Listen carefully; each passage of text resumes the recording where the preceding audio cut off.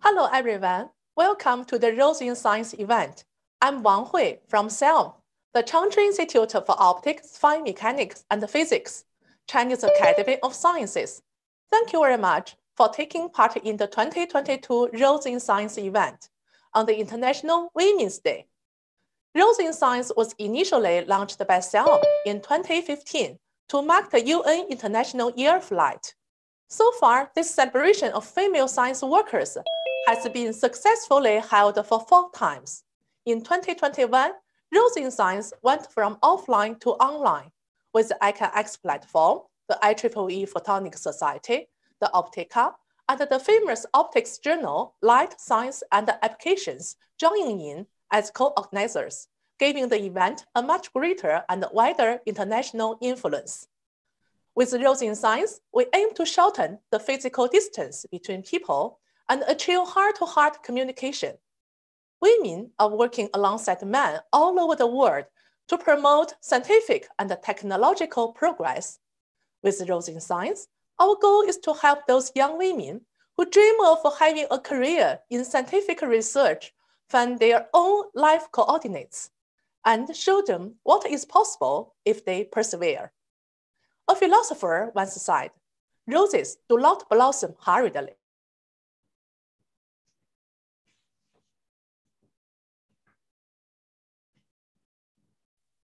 Okay. You lost your voice. Hui, you lost your voice.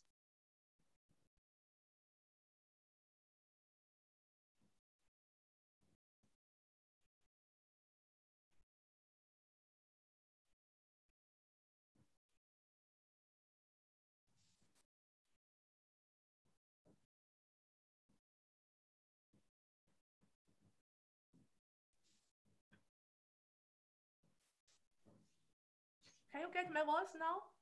Uh, yes, okay, please.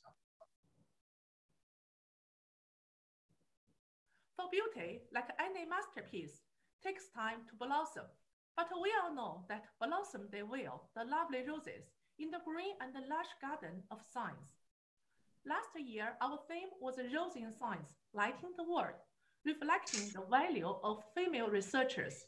The theme of this year's event is Blooming Rose in Science with which we hope to showcase the multi-dimensional talents of women. This year, we have invited female professionals from six continents, including Asia, Europe, Africa, North America, South America, and Oceania. They come from different countries, different age groups, and are working in different fields. However, they do have one thing in common. They are outstanding people and today, they will talk about their work and life and share their insights with us. Today's event would, be would not be possible without the support we have received from various organizations and people. First, it would be my honor to invite Dr. Zhang Xuejun, the Vice President of CIOM, to make a speech. Hello everyone, my name is Zhang Xuejun, the Vice President of Changchun Institute of Optics, Fine Mechanics and Physics, Chinese Academy of Sciences. First of all, I would like to thank you very much for your continuous support to our institute. This year, CIOM is celebrating its 17th anniversary.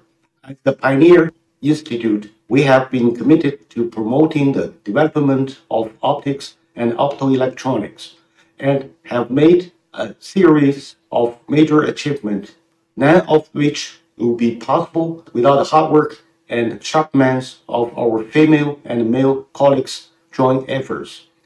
First launched in 2015, the Rose in Science event is the stage on which the spotlight shining on the world outstanding women working in science and technology. We are very honored and proud to have you all as our guests of 2022.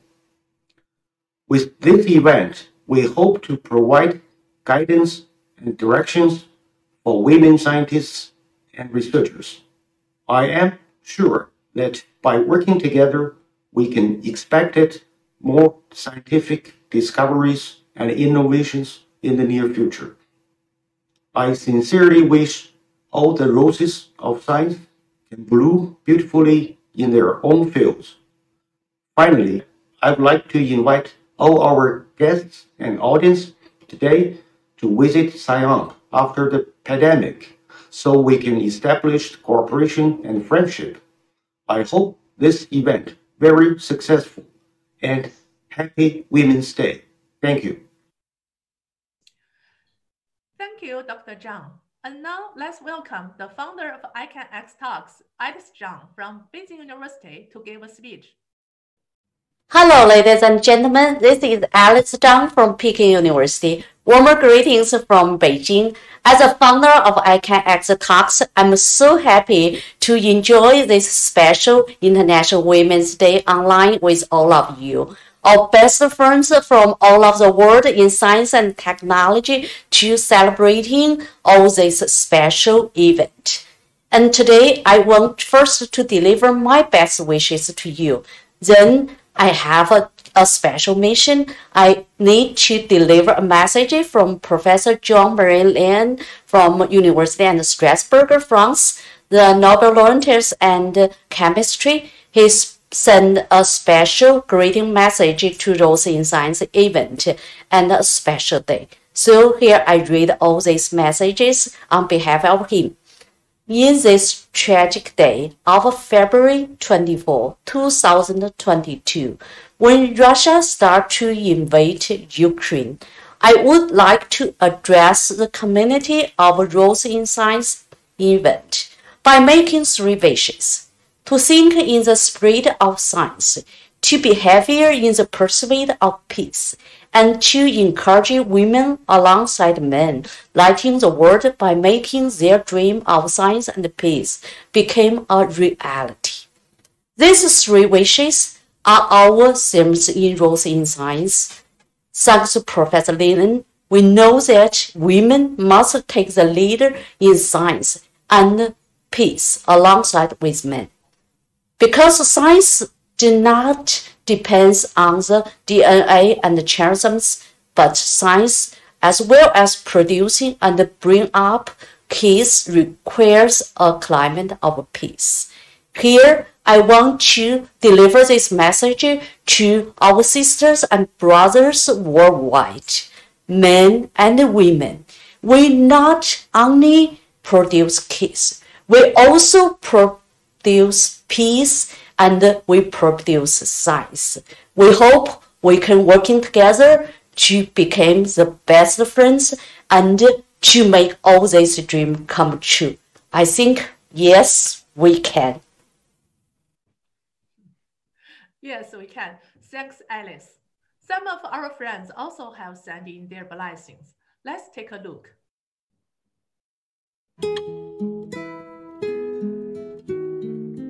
Uh, my name is Deepa Venkatesh. I'm from the Indian Institute of Technology, Madras. Uh, it's a great pleasure to be a part of the Rose in Science uh, event organized by the Changchun Institute and Chinese Academy of Sciences the organizers seem to have taken a lot of effort in bringing people of varied expertise from different parts of the world. I wish them a really grand success. Thank you. Greetings from Mauritius to the participants and guests of Rose in Science 2022. My name is Isabel de Mello. Very few will know me in the scientific world. In my own way, I am, however, a tiny part of your world.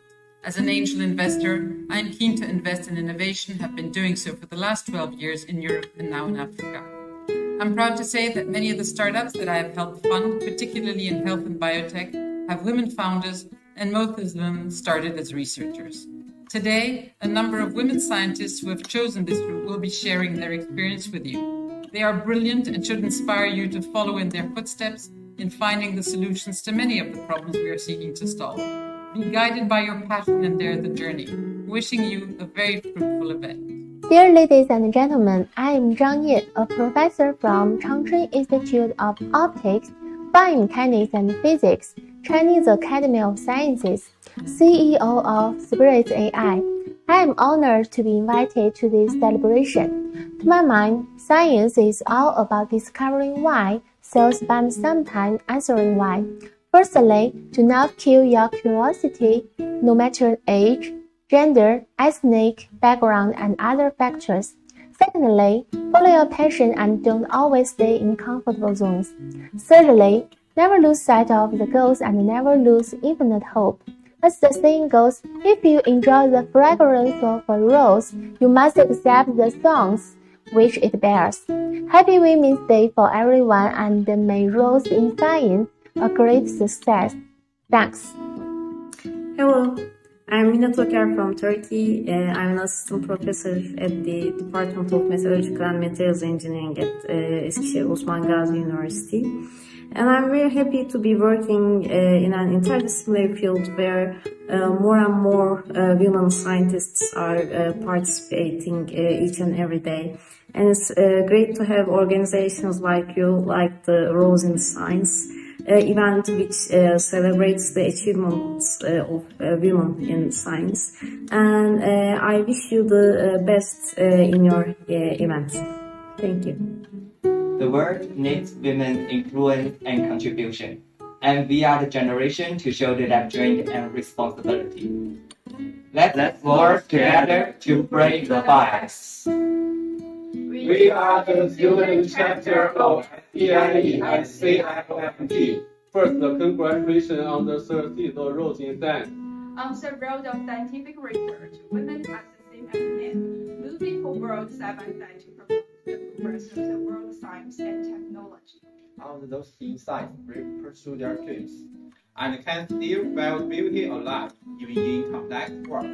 We look forward to more women scientific and technological workers coming to the fore.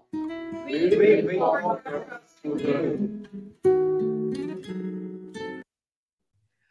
So thanks for all the good wishes from our friends. Today's event consists of two special sessions. For each one, we will have six presentations and a panel discussion. This is the schedule for the first session, in which the speakers will introduce the latest developments from the fields of mathematics, optics, academic journals, and share their personal growth experiences.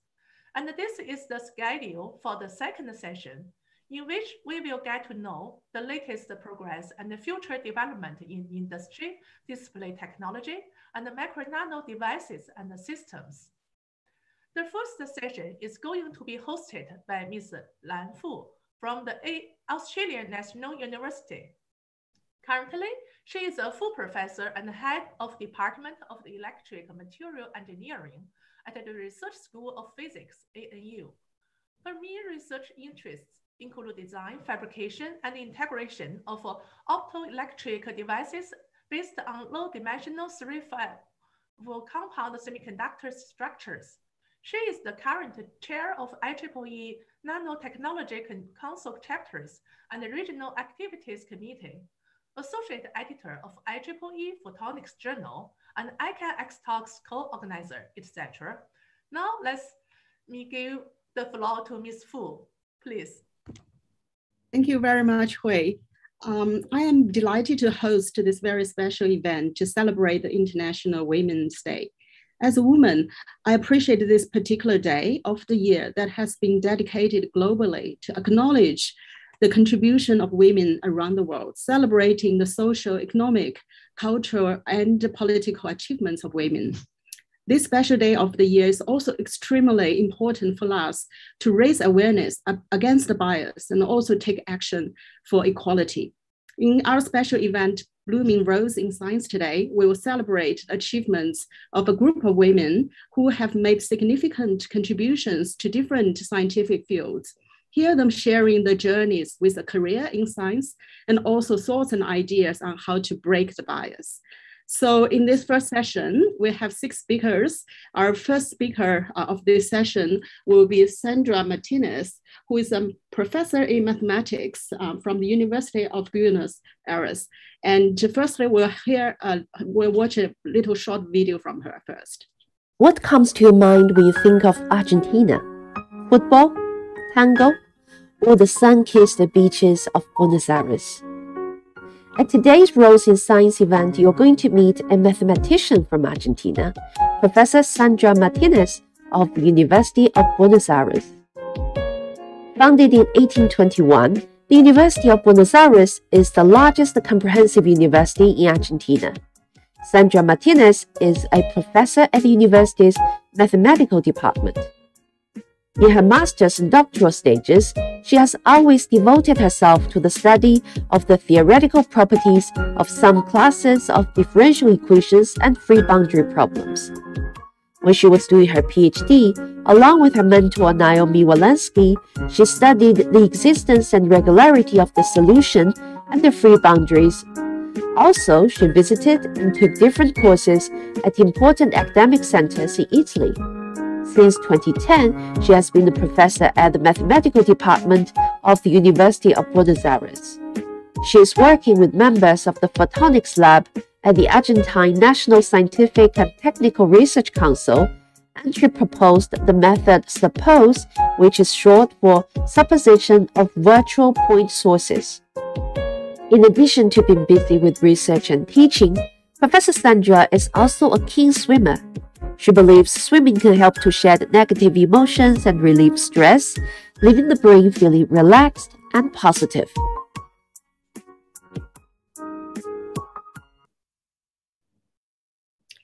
Great. Let's just welcome Sandra to the floor where she's going to talk about uh, SUPPOSE, a deconvolution method for low dimensionality images. Welcome, Sandra. Thank you very much for the presentation. Um, I, maybe why I cannot see the first slide. Okay, sorry. Um, no, I don't know. Okay, sorry. So um, I will talk about suppose uh, deconvolution method for low dimensionality image. And this is a joint work with uh, members of the Photonic Lab in Argentina. Um, I will start with uh, the index. Uh, first, um, I will talk about what is uh, deconvolution problem, a typical deconvolution problem, which is a single molecular localization method comprehensive both uh, superlasso methods. And then I will go directly to my our uh, method suppose. Uh, I will talk about the method, the bonds, the resolution criteria, the noise, how affects, and other versions applications, and then some conclusions. So what is uh, deconvolution problem? Well, in any measurement, you have uh, always uh, what is called the point spread function. And here we have the object and or the instrument response function, depending on if it's an image or any other measurement. So we have the convolution with the point spread function, and always we have an additive noise. In this case, uh, the additive noise is a Poisson noise. And then you, you have the retrieval, the image is looks like this. And if you use a standard convolution, uh, uh, if, you, if you make a standard convolution, uh, this typical is a ill-posed problem. That means that the retrieval can lead uh, to artifacts. So the, the, the, if you want to go backwards, you could don't get the original object if you use uh, just the convolution. So there are many methods called convolution problems that adds a regularization term to avoid these artifacts. But what we obtain is a low resolution image and you don't get the, the real object. So the questions is are, uh, why can we improve the resolution when use a standard convolution uh, method? The first thing is that, well, you're still using the same PSF, you're not changing the point spread function. So the, the, I'm not going to talk about this point and I will concentrate on the second answer is that we are not using any information about the ground truth. Like uh, maybe, is it a single molecule, the ground truth, or is it sparse? Like in this picture, you have three uh, sources or the third question will be, well, if, if it's not sparse, but if it's filiform or it has any representation that we are not taking into account um, for this type of images. Um, in the last year, there have uh, appeared a, a very important method called single molecular localization. And here, the assumption of the methods uh, are that the two emitters getting closer do not emit at the same time. There are many variations based on the choice of the fluorophore um, and how they are introduced to switch between an on and an off state. Uh, but the basic is, for example, look at this of the picture on the left, if this fluorophore, uh, you have only one fluorophore and the picture that you, you will see is this one. At the right, you have another structure called NPC, uh, nuclear pore complex, which consists of uh, thousands of proteins and uh, the diameter here is around 100 nanometers. So what you will look is this picture of the right. Um, so um, the idea is uh, if you assume that only two emitters getting closer do not emit at the same time, means not in, inside the, the size of the PSF, uh, what the method consists is, well, you just uh, localize the center using a fitting PSF and the precision or the accuracy that we you obtain depends on the how noisy is the image. Um, the fluorescent photoactivate localization microscopy called PALM was initially demonstrated uh, using uh, fluorescent proteins can, that can be activated using UV illumination. Whereas uh, stochastic optical reconstruction microscopy called STORM and closely related methods use a synthetic fluorophore that can photo switch in the presence of a suitable buffer. So um, all these methods have uh, the same idea of, of, of single molecular localization. And if you want to, to obtain a super resolved image in cases where the image is uh, uh, in, in, each stage is only one fluorophore activated, the idea is, is, is one. First, you take thousand frames and the important thing is that on only and, on, and only you know all these frames, only one emitter is activated inside the PSF. So uh, in this case, uh, I was using the example of the NPC again, and in all the frames, only one emitter is inside the PSF. After all this acute adjustation, you can localize um, for each of the frames the, uh, the molecule. And so at the end, you put all this information together and you get a super resolved image. This is the main idea of single localization. And for this example, uh, they can obtain an improvement of a factor of 10. Um, another way or another assumption uh, appears in the compressed sensing methods. Here the assumption is that uh, the sparsity of the ground truth. Uh, in, for all these authors, uh, the important thing to obtain the bones are uh, the assumption that uh, the image is sparse and the bones depend on how sparse is the image and how noisy is the. Uh, in this uh, synthetic image, there are um, different sparsity assumptions. In this case, you can see you have two emitters inside this, the PSF here. You have a Poisson, also you have adding a Poisson noise. And the using compressed sensing, you can recover uh, this image. But on the other hand, if you see uh, this image on the, on the right, the triplet is not enough sparse to be resolved, uh, recovered. You can see here you have three uh, in sources inside the PSF and the, the retrieval is only one or two uh, sources.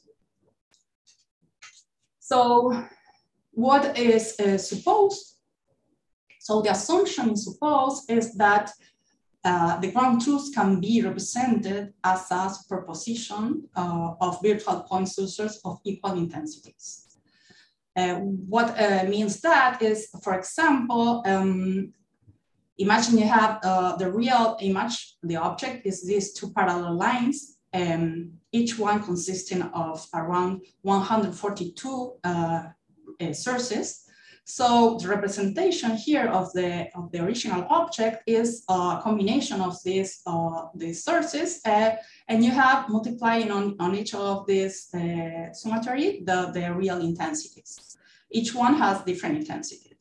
Then the image that you see here is the convolution of this R with the PSF plus a noise. On the other hand, when you make this assumption, the representation of suppose is assume that we can approximate this uh, object like a cloud of, of sources, and each of these sources has the same intensity. So in this case, the ground truth is uh, has around, in this case, M is the number of real sources and N is the number of virtual sources. The real sources are 142 and the virtual sources are around 1000. And so after that, that assumption, you make a convolution with the, the PSF. Uh, then I will talk a little bit about this PSF. And then you make the difference between the real image and the approximated image. Um, you minimize that, and to find the minimum, with what is called a genetic algorithm. Uh, here, the problem is that, well, it's not a problem, but you, you have uh, n is in general big. So if you use a standard uh, minimization optimization problem, uh, methods, you will arrive to a local minimum. So the idea is you start with an initial cloud of, of virtual sources, all, all of them, in this case, you have 1000 sources. Then you make a, a devolution and you arrive uh, to the solution I suppose. At the right, what we have is a representation as an image. You just convolve with a small PSF to, to observe the, the, the solution as, as an image.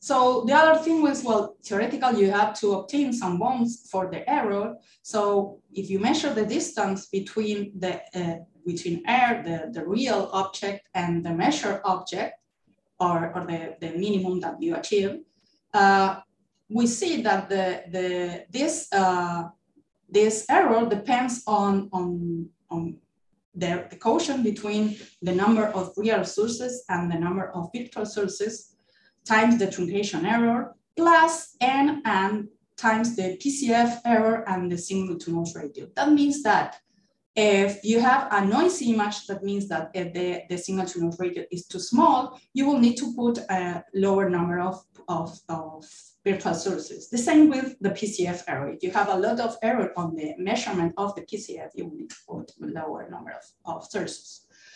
And on the other side, if the number of real sources is big, you will need to put more number of, of virtual sources. And in this example, we are plotting um, the accuracy versus the number of virtual sources for the case of the two lines. And, and you see that a, a, the number of, of real sources are 142 and the optimal n is uh, around 1000.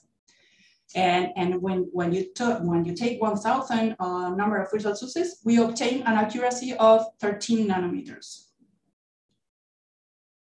Um, the other thing that we have to measure is the resolution for uh, suppose. But first, we have to define what is resolution for the original image because we want to compare how, how, how is the improvement.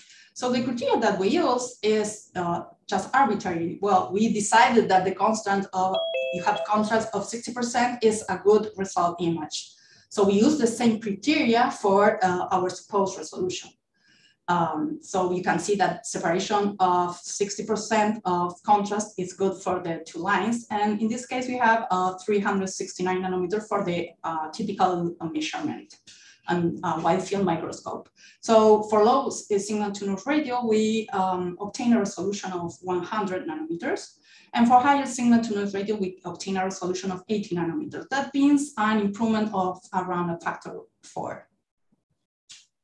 Um, another version that we have developed is called Suppose Edge. In this case, the image is not filiform as in the other case, but what we use is, well, if you want to approximate something like this is star that is um, well, asymmetric star, but uh, the, the inside is all uh, plenty of molecules. So, but what, what we want to recover is only the edge of this image, not the total image. So we have to develop a version of suppose for edges. And again, we have an initial uh, number of sources here, and then you get uh, the evolution using, again, an, a, uh, genetic algorithm until we achieve uh, the, the edge with super resolution.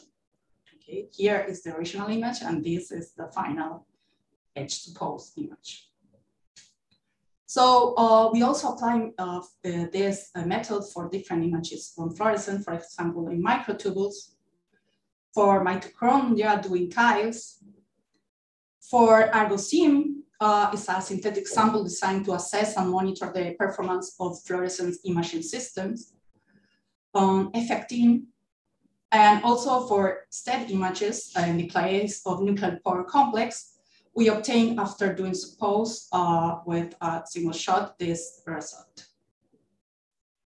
Also, we developed the version of 3D uh, suppose edge and to obtain with super resolution edges uh, or, or surfaces in 3D. Well, there are a lot of, there are many applications, not only fluorescence, uh, all problems with convolution with positive additive sources can use this type of, of assumption. For example, in Raman microscopy, mass spectroscopy, light spectroscopy, optical coherence tomography, um, X-ray diffraction, scanning electron microscopy. Uh, so the conclusions are, well, first, uh, suppose as a restriction that works for low dimensionality images, uh, filiform, for example, or all the classes of, of images that we have uh, seen very quickly here. Uh, the PSF is very important, must be measured. If you don't know an exact PSF, you, you will obtain errors, but it's not so critical, but you need to measure first PSF. The resolution depends on the noise, as in the wide field, depends on the noise. And the resolution improvement, we obtain a, a factor four and in one single shot. Important uh, a consequence of this is that the algorithm does not compromise the temporal resolution of an experiment because the processing is done at the post-acquisition stage. And also, well, we have new versions and, and applications. So now uh, I want to uh, talk about a project and all my achievements related with my career. My initial uh, studies are in differential equation, free boundary problems, um, starting from existence and regularity, um, numerical problems. But uh, the first time of my career was very theoretical. But five years ago, Oscar Martinez uh, bring me the problem of, well, how can we recover uh, the impulse problem of the convolution in the cases we have filiform images and not sparse, necessarily sparse, low dimensional images. So we think about this, these things a little bit, uh, and we arrive to this uh, method of suppose assuming the superposition of point sources. Um, um, I think um, that on my growth, my career is important the, the the interdisciplinary group that I I work for. And Michaela Toscani appears and, and she is an engineering and she has a, a, background in, in biological samples and she applies suppose to uh, fluorescence images. And she has already uh, got her PhD in February. Guillermo Binati, uh, he developed a two photon microscope in the laboratory and he implement, uh, uh, we implement each other in a joint work, uh, Edge Suppose, and he already got her PhD on December. Axel Lacapmesure is a physicist and he is doing uh, his PhD on OCT and also he's studying the, how noise affects the super resolution. Alejandro Maceo uh, is doing physics and he developed uh, suppose in a GPU to make the metal faster. And um, recently, Matthias Charut joined the group, and he's a, a student of engineering, and he's developing uh, support for 3D fluorescence images. Well, Oscar Martinez is the director of the Photonic Lab, and well, he, he if you want to know something more about the physics behind suppose, you can go to CAN talk on July. And the laboratory recently joined the Biomedical Institute, and we are thinking to do a front end so that the method can be used by the entire community that needs to super resolve uh, different measurements in one single shot. Uh, we have already had contact various biologic uh, groups um, to find what details they want to see and how much they want to see. Uh, my initial training was pure theoretical, but working with an interdisciplinary group uh, made me grow and see how mathematics uh, can be used concretely um, in different um, applications. So thank you very much for the attention. Thank you very much, Sandra, for a very, very nice introduction to this um, a new technique to enhance the, you know, achieve this super resolution images. So I'm um, uh, now let's move to our next speaker um, of this session. Uh, our next speaker is um, Dr. Mengjie Yu. uh, who is a Gabilan Assistant Professor in the Department of Electrical and Computer Engineering at the University of Southern California. So let's first hear, uh, watch the short video introducing uh, Mengjie. In fictions and films, scientists are often depicted as being obsessed with work and somewhat boring. Well, we all know that stereotype is far from reality. A real-life scientist, this girl likes travel, horseback riding, boating, camping, etc. She is bubbly and full of fun, just like any other young ladies of her age. At work, she is a hardworking scientist who is dedicated to optical science. Her name is Yu Mengjie. Professor Yu is Gabilan Assistant Professor in the Department of Electrical and Computer Engineering at the University of Southern California. She received her PhD degree in Electrical and Computer Engineering in 2018 from Cornell University and held research staff associate position in applied physics and mathematics at Columbia University from 2015 to 2018. Before joining USC, she was a postdoctoral fellow in the John A. Paulson School of Engineering and Applied Sciences at Harvard University. A research group of nanoscale nonlinear and quantum photonics lab leads efforts in advancing the fundamental understanding of nonlinear sciences at nanoscale, as well as realize next-generation optoelectronic circuits for optical communication, computing, sensing, ranging, and metrology. She serves on the early career editorial advisory board for APL Photonics, the Committee of Advanced Photonics Congress, and Optical Fiber Communication Conference. She is the 2020 Optica Ambassador, the Caltech 2019 Young Investigator Lecturer, and the Rising Star Women in Engineering in the Asian Deans Forum 2019. She served as chair of the OSA Integrated Photonics Technical Group from 2019 to 2021. She was a recipient of Maiman Award and Emil Wolf Award in 2016. Great. Let's welcome Mengjie to the stage, and she will be talking about the world of integrated nonlinear photonics. Welcome, Mengjie. Thanks for the introduction. Uh, can you see my slides? Yes. Thanks, uh, yeah, very honored to be here. Thanks for making the beautiful videos and also thank the organizers, uh, Changchun Institute of Optics for inviting me here. Uh, so today I will uh, hopefully present part of the world of integrated nonlinear photonics. Um, so here at the bottom, I list several different uh, integrated photonics materials that I have worked with in the past that includes silicon photonics and lithium niobate photonics. Uh, I will briefly uh, introduce each of them uh, in the like in talk. Uh, so I uh, just recently uh, started my assistant professor in USC in the electrical computer engineering, and my I'm leading a research group uh, called Integrated nonlinear quantum photonics group. So obviously we're trying to explore nanophotonic technologies to, for applications of, of nonlinear and quantum photonics. So as we are a lot of us already are familiar about optics and photonics, it's a really beautiful uh, technologies. Uh, it has a lot of advantages as, uh, for example, information carriers, as really enables really low loss, long distance communication networks and has a really large information bandwidth. We can encode our data in various degree of freedoms, including like path, polarization, time, and frequency. And also photonics has very extreme precision. So we can use light to measure things with very, very high uh, like precision and accuracy. And integrated photonics are probably the only approach that can scaling or enable large density of optical components on a single chip. So in the future, you probably will see how we can transfer or this large benchtop optical systems or even data centers onto our photonic chip that can really are uh, integrated in your uh, like mobile phones or in your computers or the size as small as it can sit on your fingertips. And once this is being realized, it can open a wide range of applications in a lot of uh, in a lot of like like areas.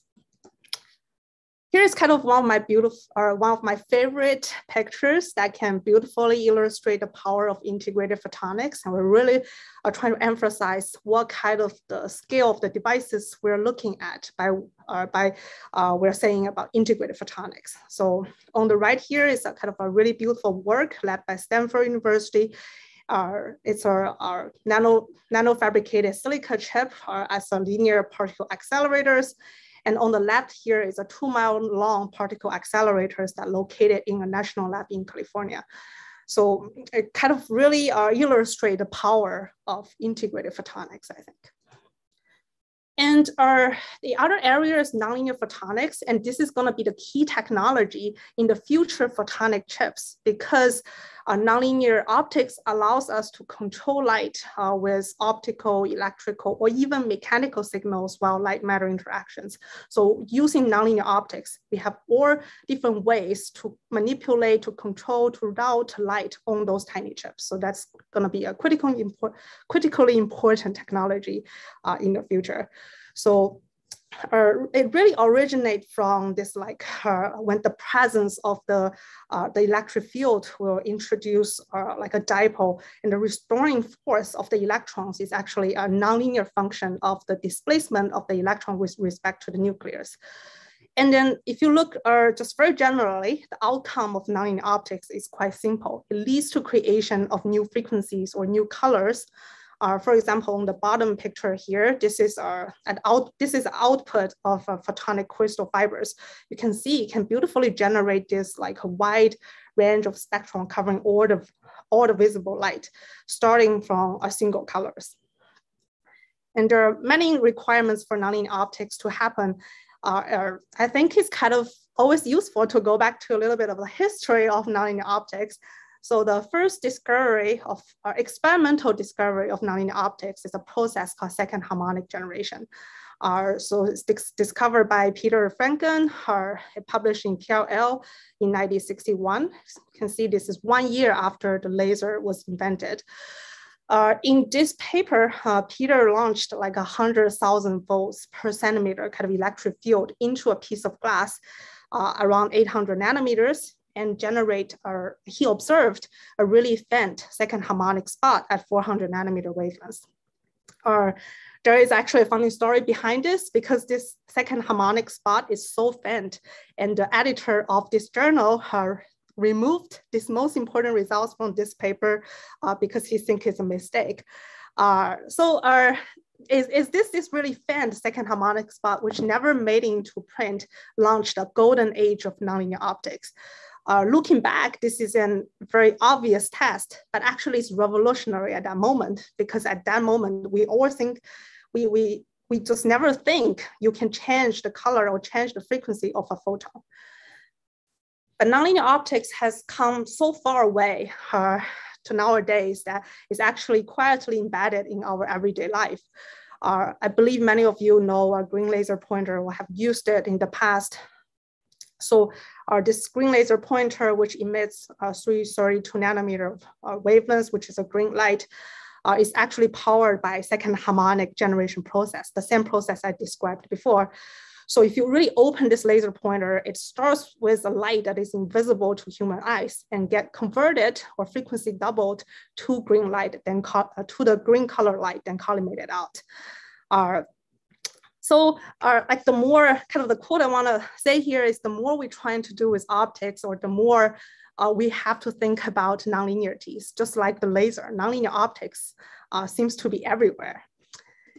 Uh, and my work works at the intersection of uh, integrated photonics and nonlinear photonics because it really allows, the combination of both really allows us to achieve uh, enhanced and controllable light matter interactions for really harnessing the full potential of light or photons.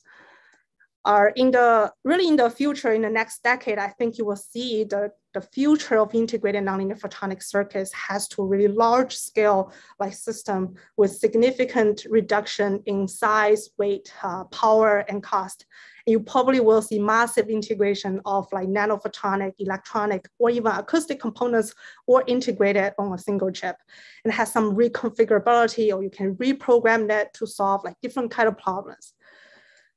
And our my group will are focused on uh, fabricating those or, or explore those nonlinear photonic process for application, in particular in our optical computing, metrology, uh, quantum technology, and sensing. Here's kind of the material photonic material toolbox that we are using that includes like silicon photonics that has silicon and silicon nitride, which is really a well known for its Chi3 or third order nonlinearity. And very recently on the lithium niobate, which is a great photonic material for both Chi2 and Chi3 nonlinearity. I will kind of briefly go over uh, like uh, in the in the next few slides very briefly. So on the application side, we're focused on doing uh, optical frequency comb generation for metrology, uh, looking at photonic computing, and also building like electro-optic or acoustic optic, uh, acousto-optic components on chip. So first, I want to introduce the first application of optical frequency combs. So there is a spectrum with discrete and regularly spaced comb lines. And uh, optical frequency comb was originally invented to count the cycles very precisely uh, from like optical atomic clock. So the existence of this technology is why our time and frequency are still the two quantities that human beings can measure with the highest precision. And there's a coherent link between optical and microwave domains. It means you can use these tools uh, to synthesize optical signal uh, from the microwave signal, or you can get really low noise microwave signal from the optical signal. Uh, so the technology of optical frequency combs won the Nobel Prize in 2005. And actually there has been a really uh, rapidly evolving field uh, has are being applied for many, many applications from fundamental science to applied engineering. Uh, here just like kind of one examples that uh, in my group that we did demonstrate uh, first integrated mid-infrared microcombs for sensing and spectroscopy in the mid-infrared. You can see we can generate these really broadband or mid-infrared frequency comb spectrums are starting from a single frequency line at three micron.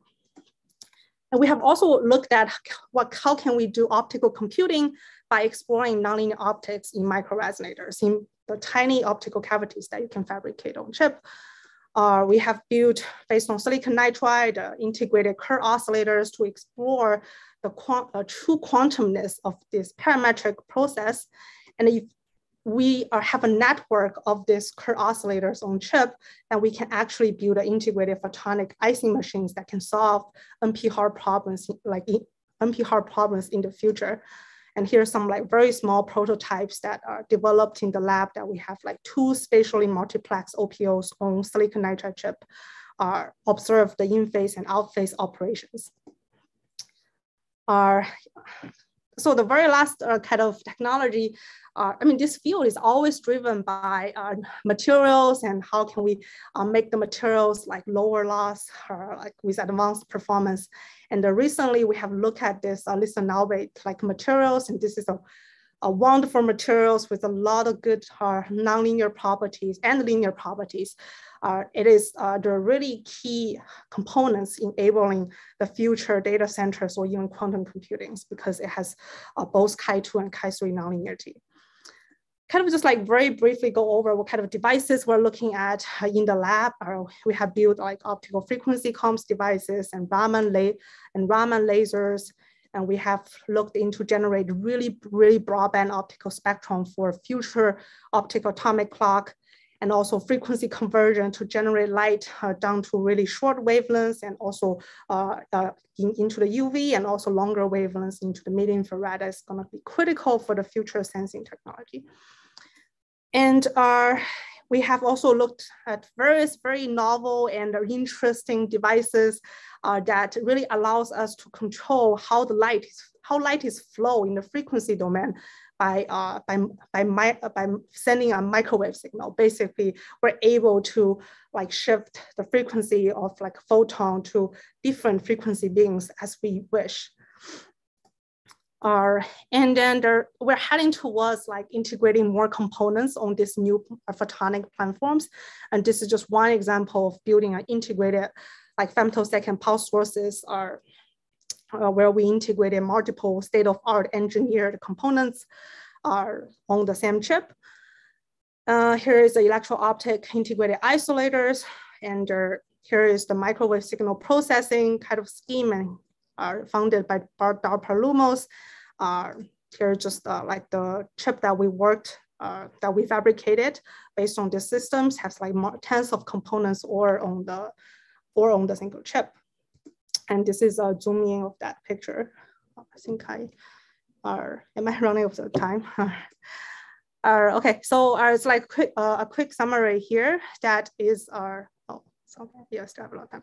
Okay, quick summary here that what I talked about and this, uh, this field I present is integrated nonlinear, like uh, integrated nonlinear photonics. We have different uh, material platforms that we can utilize. And of course, uh, like again, I said, this field is always driven by like new materials, uh, new fabrication skills. We're not limited to silicon photonics. We're always looking for other uh, more advanced material properties. Uh, and it's, uh, it's also simultaneously driven by the applications and like sensing and metrology, computing and information processing.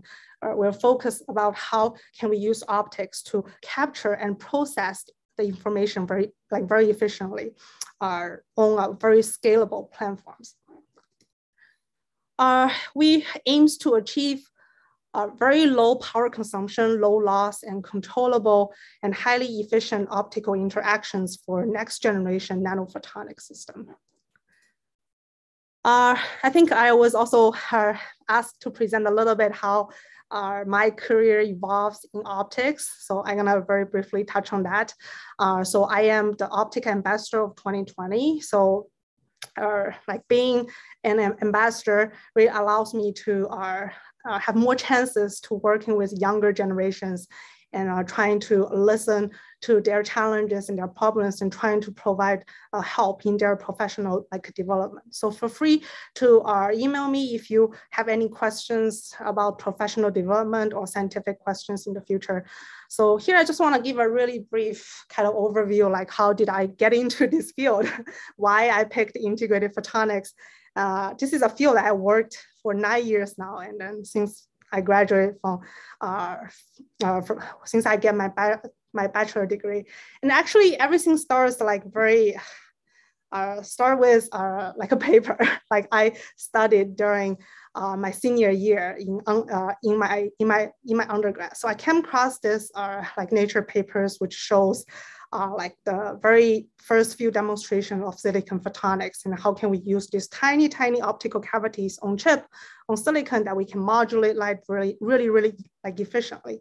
And this is, I think is the seed for me and actually is the driving force that I want to uh, continue study in this field because I just think it's so cool. And then my dream at that point is to apply to this specific group. Uh, and then I looked at it and uh, I mean, this is a really uh, like famous uh, female like scientist in nanophotonics, Professor Michal Lipson. Uh, she at the time is at Cornell University, and that's the dream school I want to apply for because I want to work in this field and really like this paper. Uh, things are just that simple. and then uh, it kind of really uh, came true. So I got my bachelor degree in Zhejiang University in China, and then I was successfully admitted to Cornell, uh, Cornell, Cornell University PhD program. So uh, I think I'm like much closer to my dream like by doing this. So I was very fortunate. I was able, uh, like I was able to, uh, I was able to get get get get admitted. Uh, so here's kind of my education like history. So I spent uh, six years, uh, uh, six six years in my PhD program at Cornell. Uh, at that time, uh, my advisor is Professor Alex Gaeta, but we work very closely with uh, like with Michal Lipson. Uh, so it's kind of like a dream come true kind of scenario for me. And then, uh, as you can see, my PhD uh, six years. It, I spent three. Actually, I it actually evenly split between two schools because my advisor changed from. He moved from Cornell University to Columbia Columbia, uh, Columbia U University in 2015. So kind of spent three years in each universities. And then I moved uh, to become a postdoc uh, in Harvard University uh, since 2018. Actually, it's not present. It's, uh, I just ended my postdoc like last year. Uh, so I spent like three years in Cornell, which is a really rural place covered by a lot of snow, and three years uh, in the great New York City, uh, uh, at Columbia, which is a really giant city. It's a quite different kind of lifestyle for me. Uh, it's a quite big change at that time. Yeah, I, I, do have a kind of, I would say, difficult and challenging time because my advisor changed schools. So if you have any kind of similar experience or you're facing these choices, feel free to uh, feel free to talk to me. Yeah, uh, and I always worked with uh, like amazing colleagues, and both of the PIs has huge groups. Uh, so on the left is my PhD group from Alex Gaeta, and on the right is like my major like major collaborator, Michal Lipson, both at Columbia now.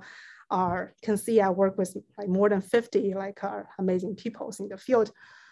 And then uh, I moved to uh, Professor Marko Loncar's lab at Harvard, exploring the listen technology. As I, uh, like as I mentioned before, again, it's a really uh, big group. We have like the highest number, we have like 30 people, like, like 30 people in the lab, I think. Uh, yeah, a little bit about my uh, kind of professional volunteer kind of experience. Uh, I think it's important uh, to have a community that are like around you uh, when you're doing science. You cannot just be like isolated in the lab all the time. It's important to find, find peer support, important to find friends uh, like outside of your lab. So I have been involved in many different uh, kind of, it's within uh, like optic society, but in different formats, like have been like student chapters, members in Cornell and Columbia. And are, um, the first year of my postdoc, I become the chair of the Optical Integrated Photonics Technical Group, where I can organize our different events. We have like 3,000 members all around the world. Was able to uh, uh, like organize webinars, host events at conferences, and our network with different speakers or experts in the field. And then one year later, I become 2020 Optica Ambassador, which again give a lot of exposure of my research work. At, at the same time, I was able to meet like her amazing younger generation scientists all around the world. And I, I think I gave like talks at uh, seven different countries actually, uh, like, like during that year, but, but it's during COVID. So everything, traveling is much more easier. Uh, like again, a lot of uh, scientific in, like involvement, um, uh, like awards and programs that have been involved uh, as following. I think they're all like a great, every single uh, involvement or achievement, I think uh, really boost my confidence uh, first and also really help me uh, feel like feel satisfied, feel fulfilled because I not only are we were not only working in science, but also we're trying to pass on like very valuable like messages uh, to the younger generation and get their feedback and report and to change the society. I think it's amazing. I think everybody should trying to do effective networking to make yourself visible and to bring positive changes uh, in the optical society. And there you can you can do science at the same time. You can have a lot of fun. Uh, yeah, so uh, just like of course, I'm an optical investor. I want to say this is an amazing society or community uh, in optics and photonics. They're really a home to many, many researchers all around the world. I do find belongings uh, here. And I have involved a lot of programs uh, like Innovation School, where I meet a lot of uh, people, uh, great people, some friends all around the world uh, Optica Ambassador Program, I do encourage you to take a look. Uh, we have like 10 ambassadors selected each year and we form like great communities who all, always offer support to each other and trying to make uh, our community better. Uh, like this is some events that I uh, organized at different conferences uh, in the Integrated Photonic Technical Group or I just want to leave a last note here. I think it's really important to live a balanced life. You should work hard, you play hard, uh, have a really good mental state is really important. Uh, very last is this like amazing uh, female uh, like people in our group. We have like seven female uh, seven girls in our lab uh, till the last year I left, plus a female cat. Uh, we had a great fun in our lab, and I think uh, I mean the world is changing, and it needs to continue to be changed, and I'm really optimistic about that. Uh, like, thank you very much. Yeah. Thank you very much.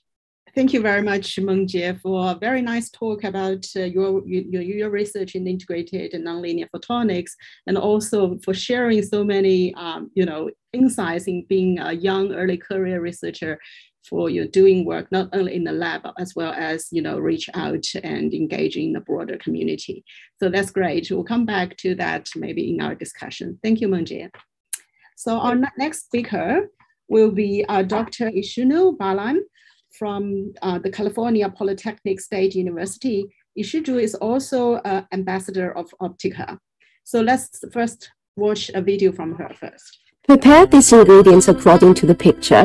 Add flour, mix well until a dough is formed. Make the dough into these twists.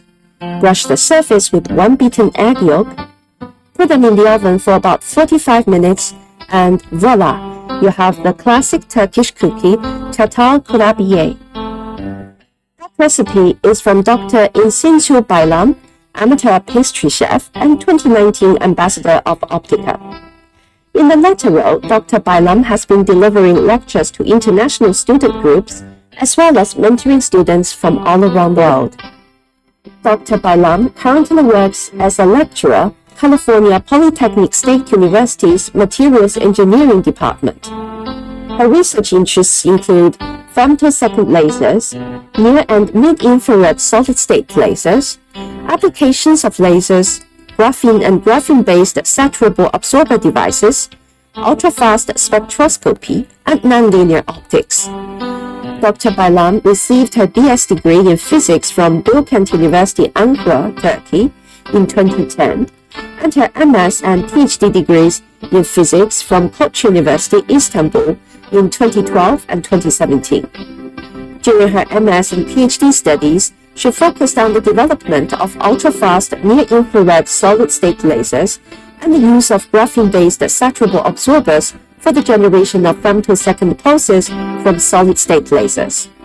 In 2017, she joined the Koç University Surface Science and Technology Center as a researcher and worked on ultra-fast pump probe spectroscopy, fluorescence spectroscopy, and development of solid-state lasers. Dr. Baylam received the Newport Research Excellence Award at the SPIE Photonics West Conference in 2013 and two Outstanding Oral Presentation Awards at the Optica Advanced Solid State Lasers conferences in 2015 and 2016. In 2018, she was nominated to participate in the 69th Lindau Nobel Laureate meeting.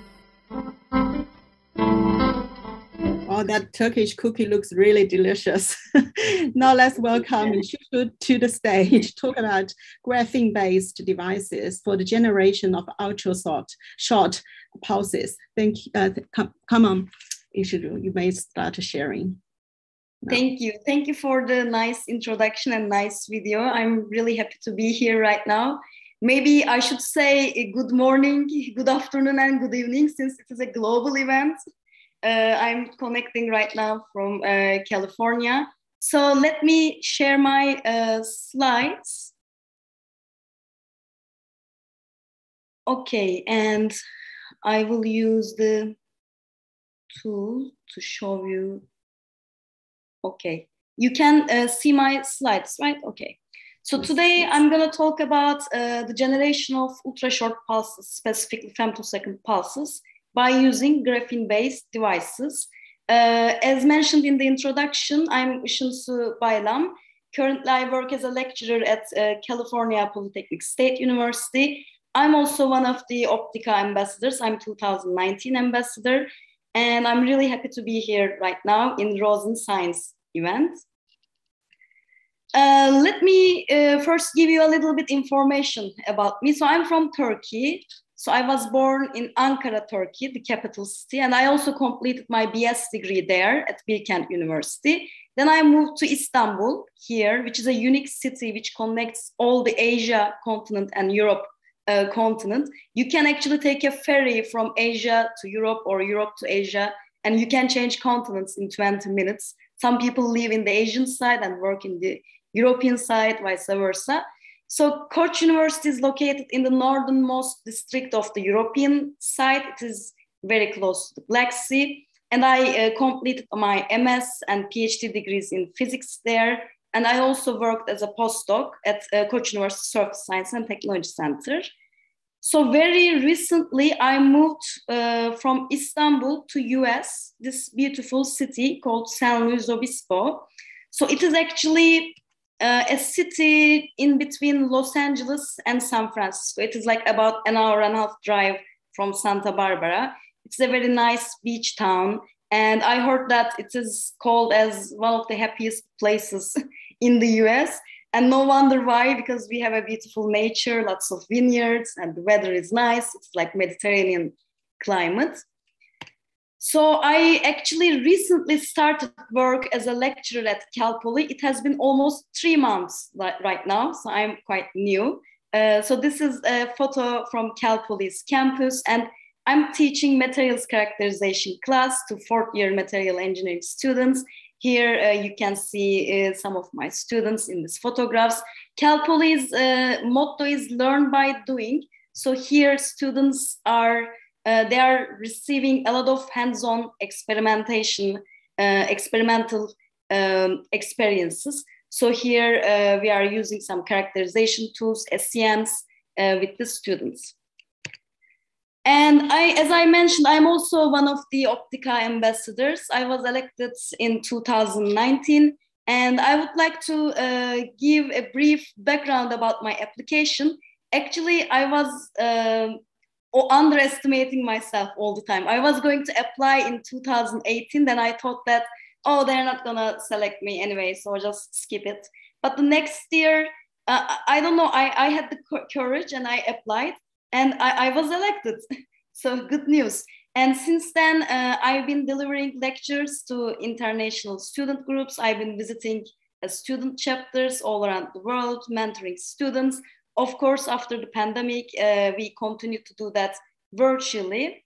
And as uh, Mengjie also mentioned, it's a great opportunity if you are interested in science outreach, sharing your experiences with younger generation, you should definitely go for it and apply. You can check the website of Optica for the application. And as, as mentioned in the introduction uh, video, I, I, am also one of the participants of Lindau Nobel Laureates meet, Nobel Laureate meetings. I went. I want to mention that it, it, was one of the greatest experiences in my life. It was one of the greatest conferences. So, what Lindau Nobel uh, Laureate meetings uh, does they invite around 500 uh, students, uh, BS, MS, PhD, or early career professionals from all around the world. You apply and they select you. And they also invite around 30 to 40 Nobel laureates. And you have one week in this beautiful uh, uh, city in Germany, Lindau. You have one week with the Nobel laureates. You go to dinners, breakfasts, activities, you listen their talks. It is like it is like a fantastic experience. I strongly recommend you to go and check the Lindau Nobel laureate meetings. And I think it has been uh, like they, they have been performing this event for almost 70 years now. Their aim, when they first started, it was just after the World War II. And the scientists, they decided that, okay, we had the war, we lost lots of connections, we were not able to do science. We can now build a better world together. So they decided to start a global event uh, called as Lindau Nobel Laureate meetings, which is very meaningful to me. And today I'm gonna talk about graphene-based devices uh, for the generation of ultra-short pulses. So this is the Koç University where I completed my master's and PhD uh, degrees and I worked as a postdoctoral researcher there. And I would like to mention at this point, uh, this work was done at Koç University during my PhD and postdoc studies uh, with the help of these wonderful collaborators. Okay, so let's start with the outline. First, uh, I will talk about why graphene and voltage controlled graphene based devices. You know, graphene is a very popular material. Then I will move on uh, with our motivation for generating near infrared femtosecond pulses. And um, I guess we have a very uh, broad audience with different uh, backgrounds.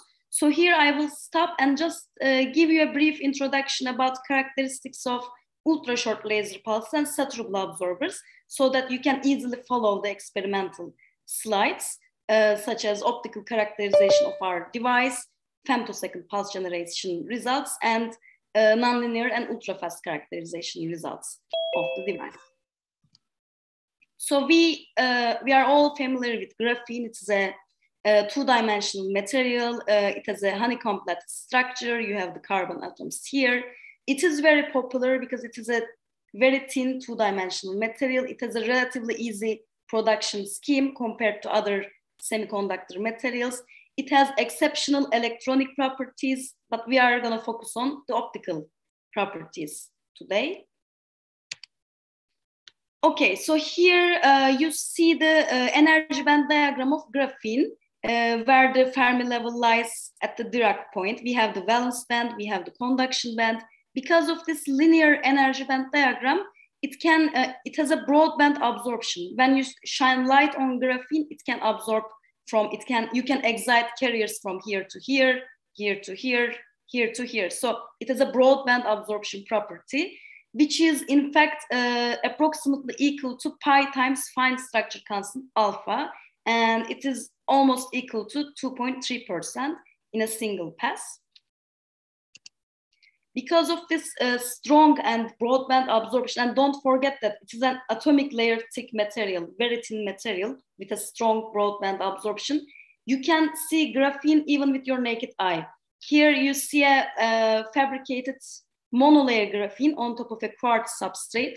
I hope you can see that. And this is just a photograph taken by an iPhone uh, camera. So it is visible to naked eye. As you increase the layers, of course, uh, 2.3% becomes 4.6 and it becomes more visible. Here you can see a photograph of a bilayer graphene. So uh, talking about optical properties, it also has uh, exceptional nonlinear optical properties, such as fast recovery time. So when you excite carriers from valence conduction band, they decay uh, very fast uh, at the order of picoseconds, which is important for a saturable absorber, and we will see why in the upcoming slides. And it also has a saturable absorption property.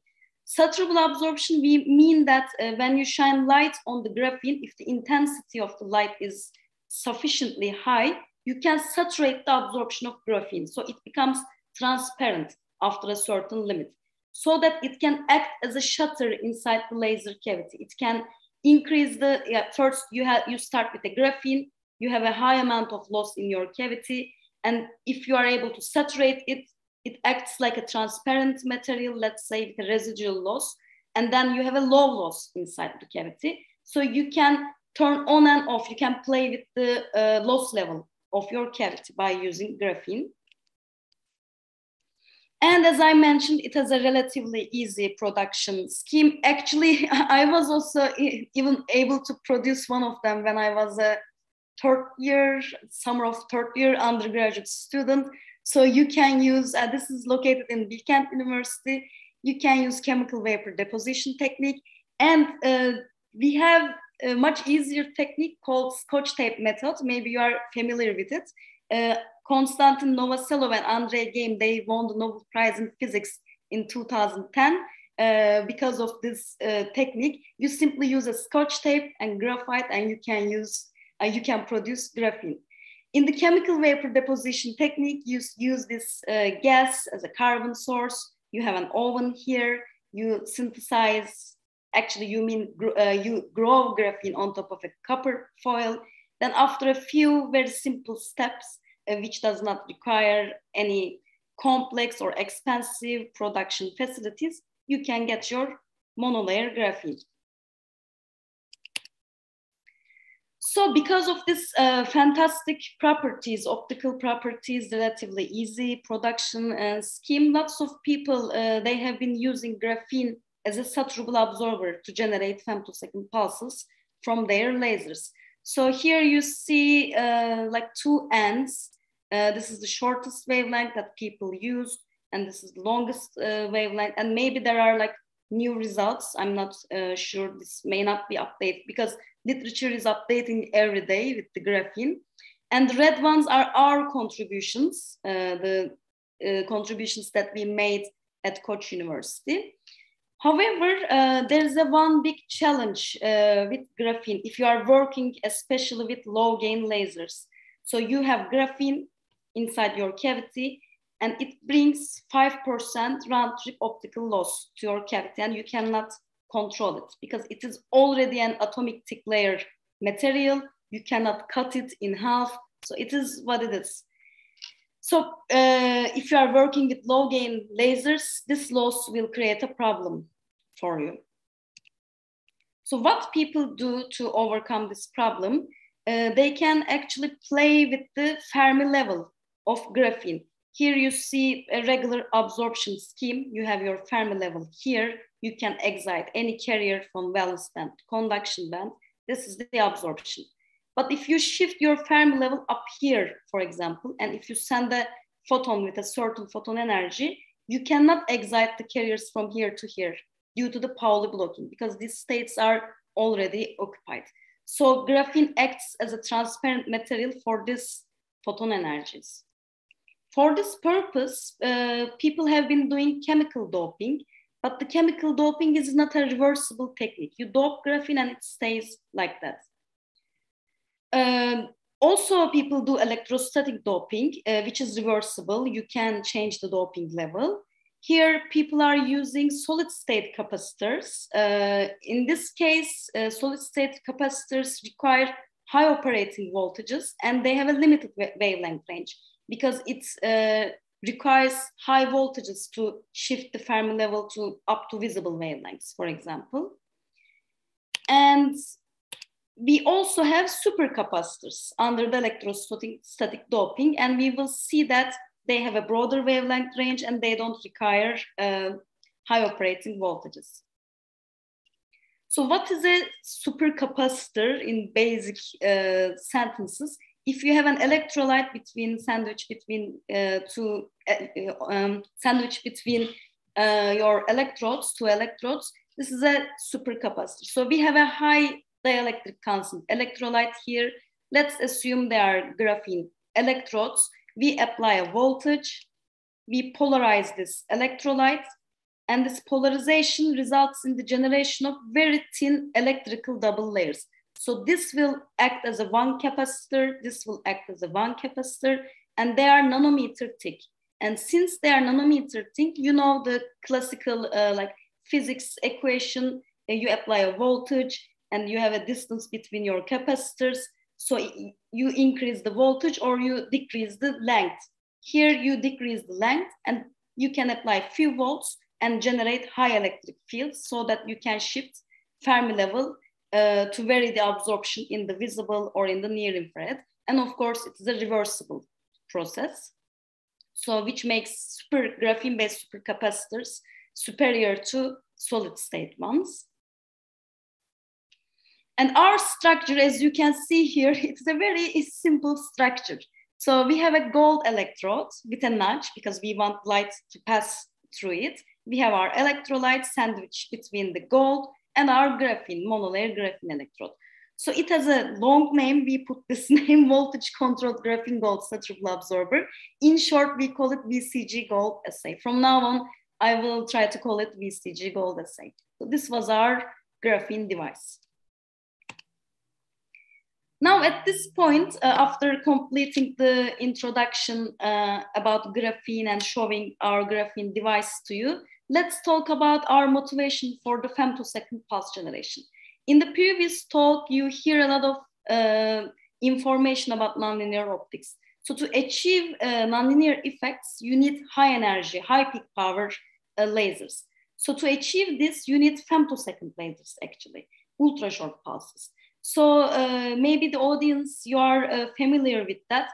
Femtosecond lasers, they have plenty of applications. They can use, they can be used in archaeology, medicine, you know, the surgeries, tissue weldings, I don't know, industry, micro machining, lots of applications. So let's focus uh, one of the biomedical applications here, imaging applications. So I'm going to show you two different lasers titanium sapphire and chromium forsterite with this near infrared operation wavelengths. Titanium sapphire is a very well-known laser system. It has been used in many different applications. Here you see a photo of a multiphoton uh, microscopy process. So if you have a femtosecond pulses, you can have multiphoton effects. So it can be used in multiphoton microscopy and it, and it has been used actually as a commercial source. Uh, if we think about chromium forsterite lasers, uh, they are like less known compared to Zeiss Sapphire, but their operation wavelength is very unique. If you look at this chart, you will see that its operation wavelength is around here, where you can avoid Rayleigh scattering. So 800 nanometer is shorter than 1.2 microns. You have more Rayleigh scattering around 800 nanometer, and you have less Rayleigh scattering here. And at the same time, you can avoid water absorption lines. So this laser, because of this properties, characteristics, has been used in uh, like deep tissue imaging applications, optical coherence tomography applications. So as a result, it is important to build such lasers with uh, good uh, femtosecond pulse generation characteristics. And so we came up with this novel uh, graphene-based design uh, and we try to understand how these lasers uh, uh, work and when they produce femtosecond pulses by using VCG gold SAR architecture. Okay, so at this point, I'm gonna uh, stop here a little bit and give you an uh, background information about femtosecond pulses, very basic information. So here you see a very basic, the simplest laser cavity. You have two mirrors and you have a one gain medium. I'm not uh, gonna talk about the details, how we generate uh, laser uh, radiation here, but there is a certain, this certain distance between these two mirrors. We call it the cavity length, the L. And this cavity length determines the, if you generate pulses, uh, repetition rates of your pulses, as you can see in this equation. This is the repetition rate. And here you see an actual data of a femtosecond laser. So the, its repetition rate, for example, 5.8 megahertz. From this repetition rate, you can uh, determine the energy per pulse, how much energy you have per pulse. And you can also determine peak power per pulse if you know the uh, pulse width. You know the pulse energy. If you know the pulse width, you can determine the uh, energy per pulse. If you, uh, in this laser cavity, waves are simply oscillating out of phase and you have continuous wave laser operation as if in a laser pointer. If you somehow manage to uh, lock the phases of these oscillating waves, you can get femtosecond pulses. Uh, I mean, for example, in continuous wave, you have continuous output over time. In a pulse laser, you squeeze all this power, all this energy under this very short pulses. So you have a very high peak power compared to a continuous wave laser, and you can achieve nonlinear effects. There's a certain type of ultra short pulses. We call them solitary optical pulses. Uh, in this regime, uh, solitons, uh, we can describe them as pulses uh, with a certain balance of nonlinear effects and dispersion inside the cavity. And they are important because they can preserve their uh, spectral and temporal shape as they propagate. So uh, to have a solitary optical pulse, let's say, you need to balance the dispersion and nonlinearities in, inside your cavity. And luckily, they obey this uh, area theorem. If you know your cavity energy, if you know uh, the nonlinearities inside the medium, and you have an expected pulse duration in your mind, you know how much dispersion you should add to get a solitary optical pulse. And to characterize solitary optical pulses, we have this equation. So in uh, time domain, we have the pulse, and in the space domain, we have the corresponding spectrum and the multiplication of this, the full width half maximum of these two parameters is uh, equals to 0.315 if your uh, shape is sech square. And this is uh, the shape for the solitary optical pulses. So you measure them and you multiply them and you understand, oh, I produce solitary pulses or, okay, they are like nearly solitary optical pulses. Now let's talk about a little bit uh, the characteristics of uh, saturable absorbers. Okay, uh, we have graphene uh, band structure here again. As I mentioned before, uh, the saturable absorber is a kind of absorber. You can change the modulation depth.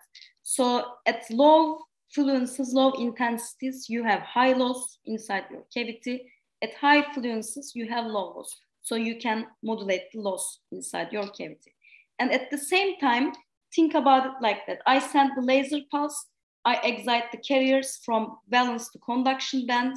So it is kind of transparent right now, low loss, but they should come back very fast, faster than the cavity round trip time, which was at the order of uh, nanoseconds in the previous slide, you saw it, so that it can act as a fast uh, switch, like it opens and closes, opens and closes. It modulates the loss inside the cavity, and you can get a femtosecond pulse like that.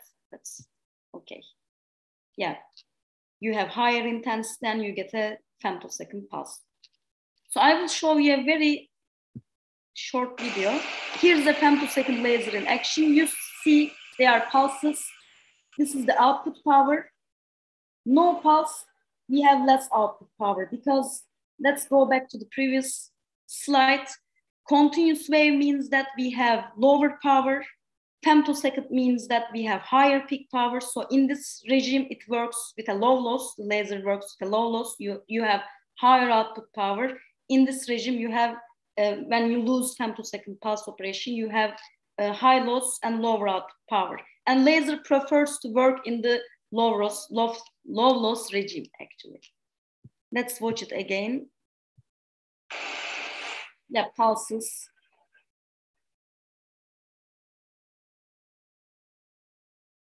Okay. Okay, so now uh, we finished the theoretical background. We can continue with our experimental results. First, I will start with the optical characterization of the VCG gold SA. So this is a steady state transmission spectrum of the VCG gold SA uh, at different applied voltages. You see as you increase the applied voltage, for example, around one volt, you are able to uh, modulate the transmission around like 800 nanometer. And if you go beyond, you can modulate the transmission to uh, shorter wavelengths because they have higher energy. So step by step, actually, you block the absorption due to the Pauli blocking. So this graph is like a recipe here. So 2EF, let's say you have a 1 EV laser, like around uh, 1.2 micron, like chromium forsterite laser.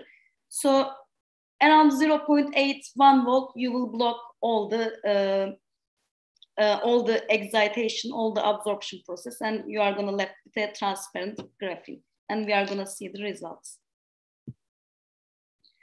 So this is the experimental setup for 1.2 micron laser. I'm not gonna go into the details. Uh, you can have a simple laser cavity, you can have a longer laser cavity, it depends on your uh, application.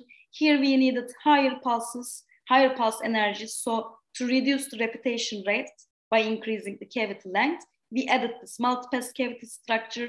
It is a very fun structure. That's why I put the photos. The laser beam bounces back and forth many times. And to control the dispersion, we added a bunch of optics to our cavity. Similarly, this is the 800 nanometer Ti:sapphire uh, laser setup. Here you see we didn't need uh, like this uh, exotic things. So we worked with a simple uh, laser cavity. We added a prism pair to um, arrange the dispersion inside the cavity because we are aiming to produce femtosecond pulses, solitary pulses. And let's take a look at the continuous wave operation first. This is our uh, recipe chart here. So this is the result for forsterite laser, and this is the result for sapphire laser. What happens here is that you have the VCG gold SA inside your cavity. There are no pulses or anything. They work in the continuous wave regime. Without changing the input power, you can increase the output power of the laser by increasing the voltage because one by one, you step, uh, you close the nearby wavelengths, you block them due to Pauli blocking, and it becomes transparent. And as you see here, around 0.8 volt, uh, this output power makes a jump because after 0.8, it becomes completely transparent for this photon energy. And similarly here around 1.5 volts, because it corresponds to the 0.7 here, to EF. Yeah. This squares also explain this. Okay. Okay, so let's take a look at the femtosecond pulse generation result. So uh, in order to lock the phases of the waves oscillating inside the cavity, actually you give a small perturbation. You like um, translate the output coupler mirror a little bit and they start to generate femtosecond pulses. You uh, solve the equations which describe the femtosecond pulses. Here our data clearly shows that we were able to generate solitary optical pulses at the highest operation voltage of 0.8 volts because this is the product which is uh, very close to sech square profile uh, product. And we were able to generate uh, sub 100 femtosecond pulses. And here you see the corresponding peak powers and photon energies. This is the spectrum. And this is the RF spectrum, uh, which shows that our pulses were well above the noise level. So we have a pure femtosecond pulse operation. Similarly, at 1.2 volt, this was the highest uh, applied voltage which were uh, able to generate, um, which was able to generate femtosecond pulses uh, from the Ti:sapphire laser. Similarly, we were able to generate solitary pulses. Okay, so uh, why we didn't go beyond the 0.8 volt here or 1.2 volts here, I, as I explained before, after this limit, it becomes completely transparent. So no absorption means that no saturable absorption and no femtosecond pulse generation. You, you are left with your quartz substrate and electrolytes. And this is the limit for forsterite, and this is the limit uh, for um, Ti:sapphire. Uh, how, how many minutes I have? Okay, a couple of minutes well, you more. can have three to five minutes, please. Yeah. Okay. Then um, I would like to add one more thing here. Uh, so uh, we were able to generate femtosecond pulses with the system up to 0.8 volts, and we were able to play with the output power of the laser without changing anything inside the laser. And in the case of Ti:sapphire, the limit was around 1.2 volts. So we demonstrated this by using two lasers. So how about the operation range, full operation range of this device? Because we don't only have two kinds of lasers in the world, we have different lasers. And we know that if we shift the Fermi level, we also affect the nonlinear absorption and ultrafast properties. So we performed an uh, ultrafast pump probe experiment uh, with the VCG Gold SA. You can see the experimental setup here we have two parametric optical oscillators, uh, optical parametric oscillators. One of them, this was pump, this was probe. They were both femtoseconds. And we had a femtosecond to nanosecond pump probe setup here. This is actually an in action measurement. You can see the voltage supply here. We were applying voltage.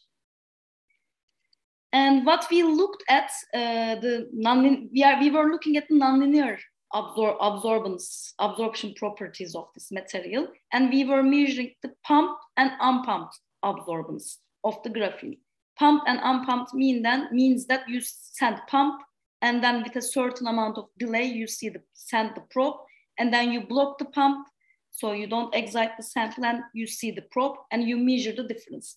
This is like a, taking a snapshot. So you have your carriers here excited as they go like step by step, step by step, you take the photograph of your carrier with the probe beam. You can think of it like that.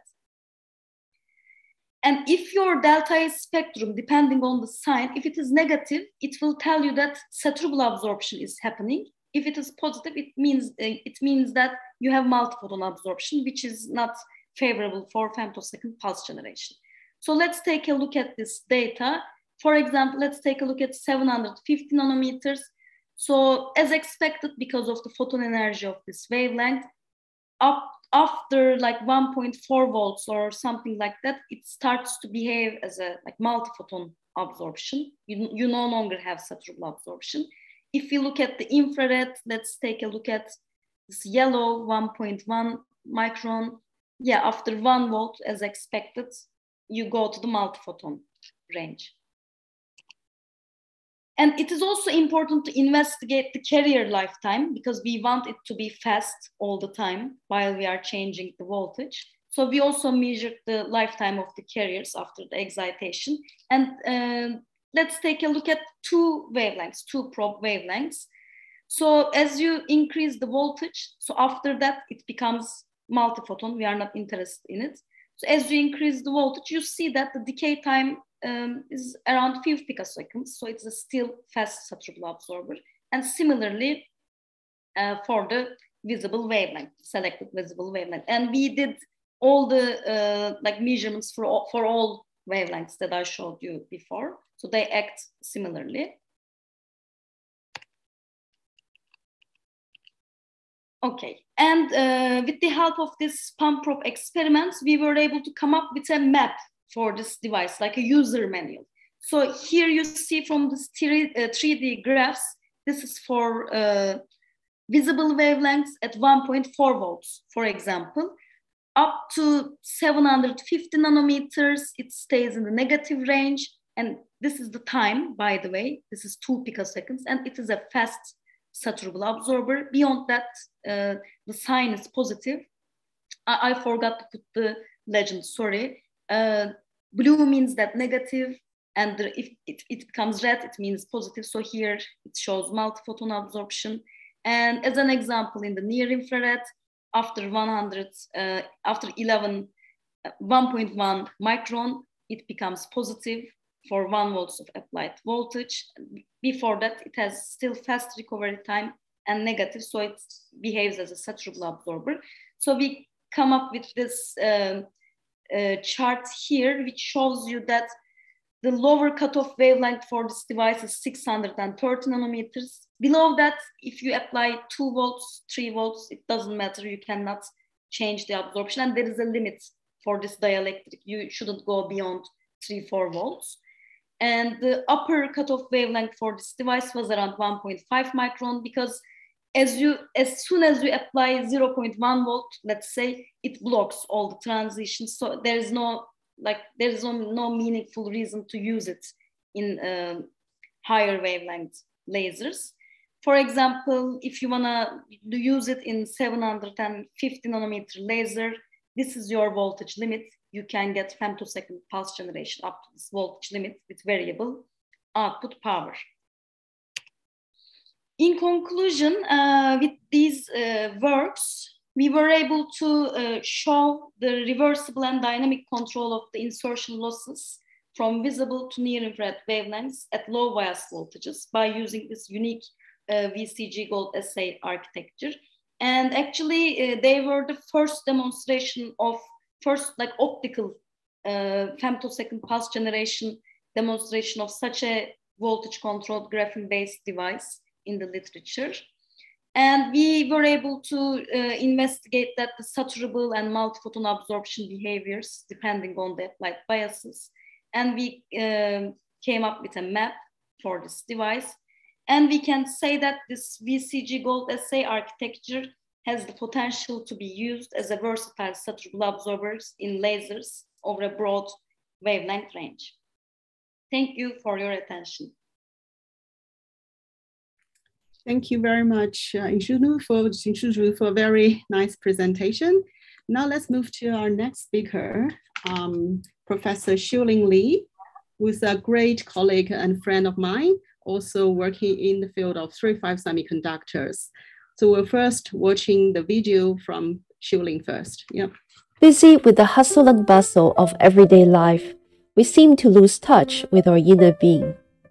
Yoga allows us to achieve peace of mind through movement of the body. With each stretch, we refresh our understanding of our bodies. Through inhaling and exhaling, we embrace nature and sense the synergy of our body and mind. Today, we're going to meet a yoga master who is also an outstanding scientist. She is Professor Xiuling Li from University of Texas. Professor Li holds the Temple Foundation Endowed Professorship number 3 in the Department of Electrical and Computer Engineering at the University of Texas at Austin. She received her bachelor degree from Peking University and PhD from the University of California at Los Angeles. Before joining UT last August, Professor Li was the Donald Biggar Willard Professor in Engineering in the Department of Electrical and Computer Engineering at the University of Illinois Urbana-Champaign. She also served as the interim director of the Nick Holonyak Jr. Micro and Nanotechnology Laboratory. She has published more than 160 journal papers and delivered over 120 invited lectures worldwide. She also holds 20 plus patents, one of which has already been licensed by a major global microelectronics company. She is a fellow of the IEEE, the American Physics Society, Optica, the National Academy of Inventors, and the American Association for the Advancement of Science. Well, that's certainly very impressive uh, yoga poses, and I look forward to do some yoga practice with you in the future if opportunity. yes. So now let's welcome Xiuling to the stage to talk about semiconductor nanotech and the balancing act. There is plenty of room all around. Xiuling, please. Thank you. Thank you very much, Len. Um, and thank you, Haixia and Hui for, for organizing this event. I'm always embarrassed to see video or anything in, with myself in that. All right, so here's the, the title in the spirit of this very high level, broad um, the le lecture with a broad audience. Uh, um, so my research is actually on semiconductor materials and devices. Um, whether it's research or it's life, it is a balancing act. Um, I, I, want to convey um, there is plenty of room in all directions. Um, I am currently at the University of Texas at Austin. Um, I moved to UT from University of Illinois about six months ago. Um, so the work I'm talking, uh, gonna share with you is all from University of Illinois. Here's a statement I, I really liked. I, I think it, it is true. This is uh, from uh, Professor Jerry Woodall. Um, if you you're living on planet Earth, you must know they're all electronics based uh, industry use silicon MOSFET technology. So my focus is actually on compound semiconductors, but I'm going to start with the elemental semiconductor. This is the 1956 Nobel Prize in Physics. It went to these three giants, um, William Shockley, John Bardeen, and Walter Brattain, for their research on semiconductors and their discovery of the transistor effect. This image right here is a transistor. It's actually made of germanium, not silicon, but germanium didn't last for very long and soon the entire field uh, went to silicon. And this, the discovery was actually made in 1947 at Bell Labs. And th this transistor was literally put together by hand. And that was 1947. And the next Nobel Prize, 2000, that went to integrated circuits, along with another group. I'm going to mention that, that later. And that went to Jack Kilby. Jack Kilby conceived the integrated circuit idea, the concept, in July of 1958. And his patent was granted in 1964. He was at Texas Instrument at the time, um, he actually got his bachelor degree from University of Illinois. And this is a quote directly from his patent. What is an integrated circuit? So this is a novel and miniaturized electronic circuit fabricated from a body of semiconductor material containing a diffused p-n junction. Note, this is a diffused, not implanted, not monolithically grown p-n junction. So at that time, the patent covered to diffuse the p-n junction, uh, wherein all components of the electronic circuit are completely integrated into the body of semiconductor material. And so with this concept, what he said, which is true in many, not only in integrated circuit that's based on silicon, in many other things. So there's no limit upon the complexity or configuration of circuits which can be made in this manner. That manner is integration. Another giant here, um, Robert Noyce, almost at the same time. um, came up with the idea of integrated circuit instead of a hand put uh, stitched together transistor. This integrated circuit idea and was uh, filed a patent. He filed a patent. Uh, uh, he was at Fairchild Semiconductor, which was the precursor of Intel. Um, his patent actually was granted before Jack Kilby's grant, uh, the patent. So in his patent, he said, it would be desirable to make multiple devices on a single piece of silicon. That's what integration is. You make multiple of them on a single piece of silicon in order to be able to make inter interconnections between devices as part of the manufacturing process. And the goal is to reduce the weight, reduce the size, as well as cost per active element. In his patent, the drawing actually do not contain flying wires like you would do with by, by, by hand. He already had this lithography idea to put everything together using a parallel process.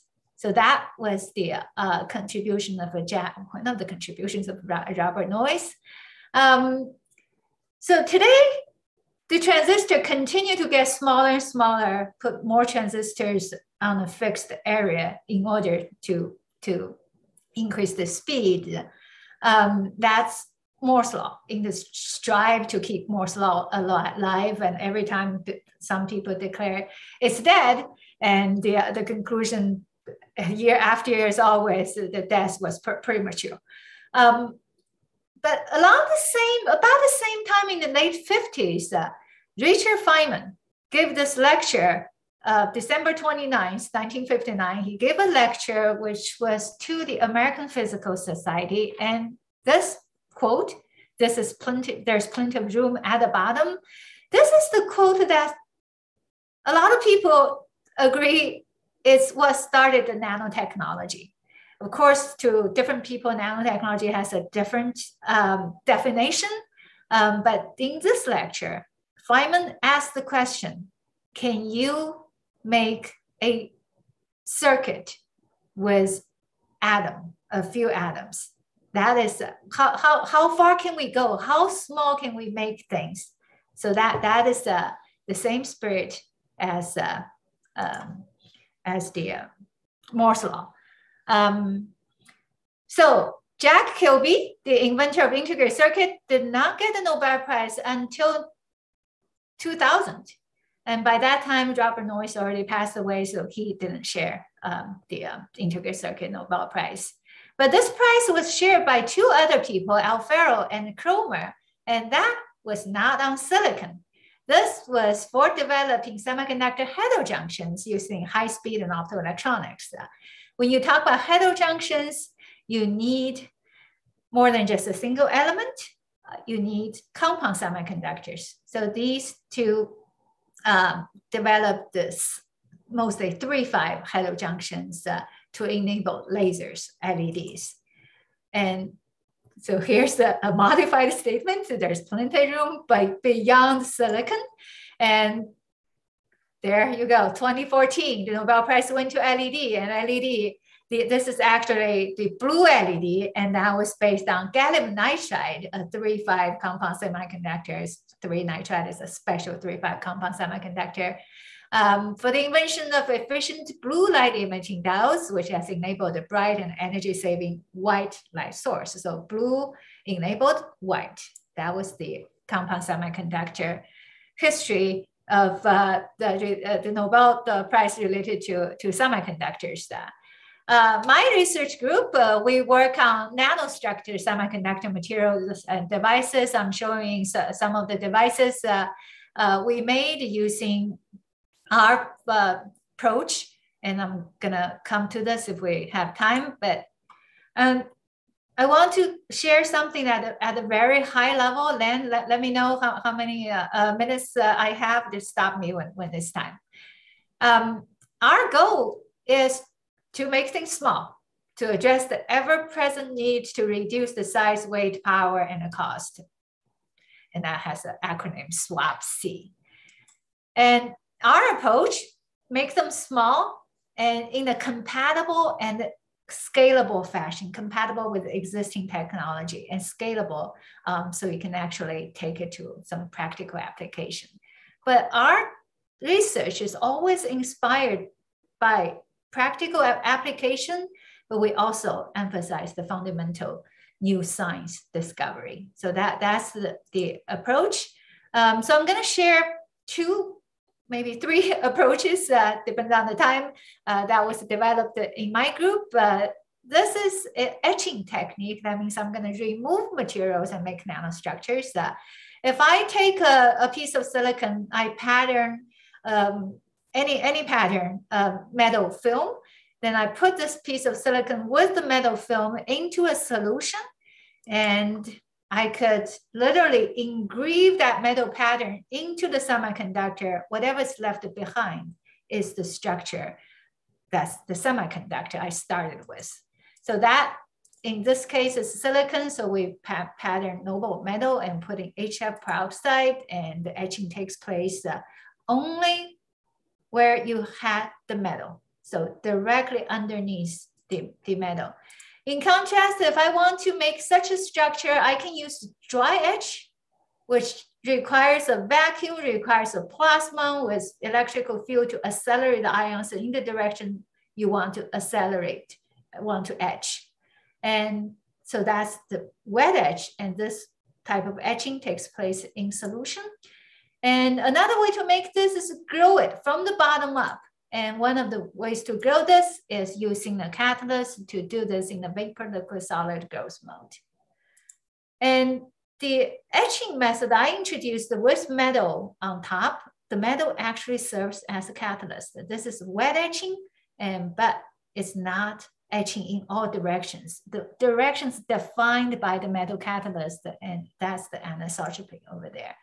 It is called metal assisted chemical etching. Uh, we call it, call it MAC etch for abbreviation. In the literature, you also see some people call it the MACE without spelling, spell out the, uh, the entire etch the uh, letter.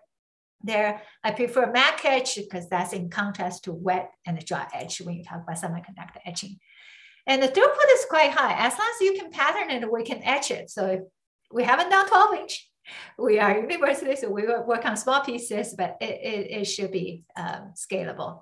So that's a very brief introduction of that method. Uh, um, these are some of the structures we made. Here's a, silicon nanowire array with aspect ratio of 100 to 1 that was made in 20 minutes. If you double that to 40 minutes, uh, the aspect ratio becomes 200 to 1. And this is a silicon photonic crystal. And this is a compound semiconductor actually has a band gap. Uh, so far is one of the highest band gap material. We call it ultra wide band gap semiconductor. It's beta gallium oxide. And this is indium phosphide FinFET with extremely smooth sidewall. And that made the off state work really well. So this FinFET transistor with a very high aspect ratio had a subthreshold threshold voltage, uh, threshold voltage of almost ideal, 63 millivolt per decade compared to ideal, which is 60 at room temperature. And these are some other wide bandgap semiconductor, including gallium nitride silicon, also made by this method. The surface morphology can be porous, can be tailored depending on how you etch it. Uh, and the bottom line is there's no ion, no, no high, high energy ion, no ion induced damage. That's the virtue of that. So here's my statement about MAC etch. It's not your ordinary etching. It can do things that dry etch can, cannot do. All right, so the second platform I want to uh, introduce uh, is, uh, this is actually not just limited to semiconductor. It's a 3D MEMS approach. Um, we use strain. A lot of times you want to keep everything flat which is what I actually did for many, many years. Uh, uh, this is to try to make films not stay flat.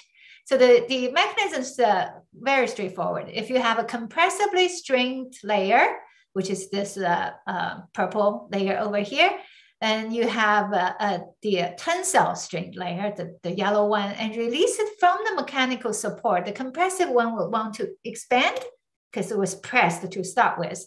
The tensile one want to pull it back. As a result, you have a momentum in this direction. and that makes the film buckle up. And the, this is an array of these buckled up film. We call them rolled up. The reason we call them membrane is because the thickness of these can be anywhere from a monolayer to hundreds of nanometer. We mostly work with pretty thin uh, films, like uh, tens of uh, 10, a few nanometer to tens of nanometers. So we call them uh, uh, self-rolled membrane. S-RuM, um, this is the model, the structure. Here's some more modeling to to understand what is the strain involved? If you change the thickness you change the mismatch uh, you, you you can even change the temperature you do this at. You get different curvature. And how to if you know the curvature you know how long a strip strip you need to have in order to roll up a complete turn. Many turns or a fraction of a turn. So we got to the point we can control how many turns we roll precisely so we can fabricate devices knowing what we're, we're, we're getting into. So that's the, uh, the approach. And these are some of the, the devices we have made. This is the rolled up inductor. And um, this is a capacitor structure. This is a transformer. When you have two inductors, a primary, secondary, you make a transformer. And this one is a LC, L, L, middle is C, and L filter. Um, we also use this platform for other non-electronic based applications. And this is an array of silicon nitride tube rolled up in the same mechanism. And here's what we use it for.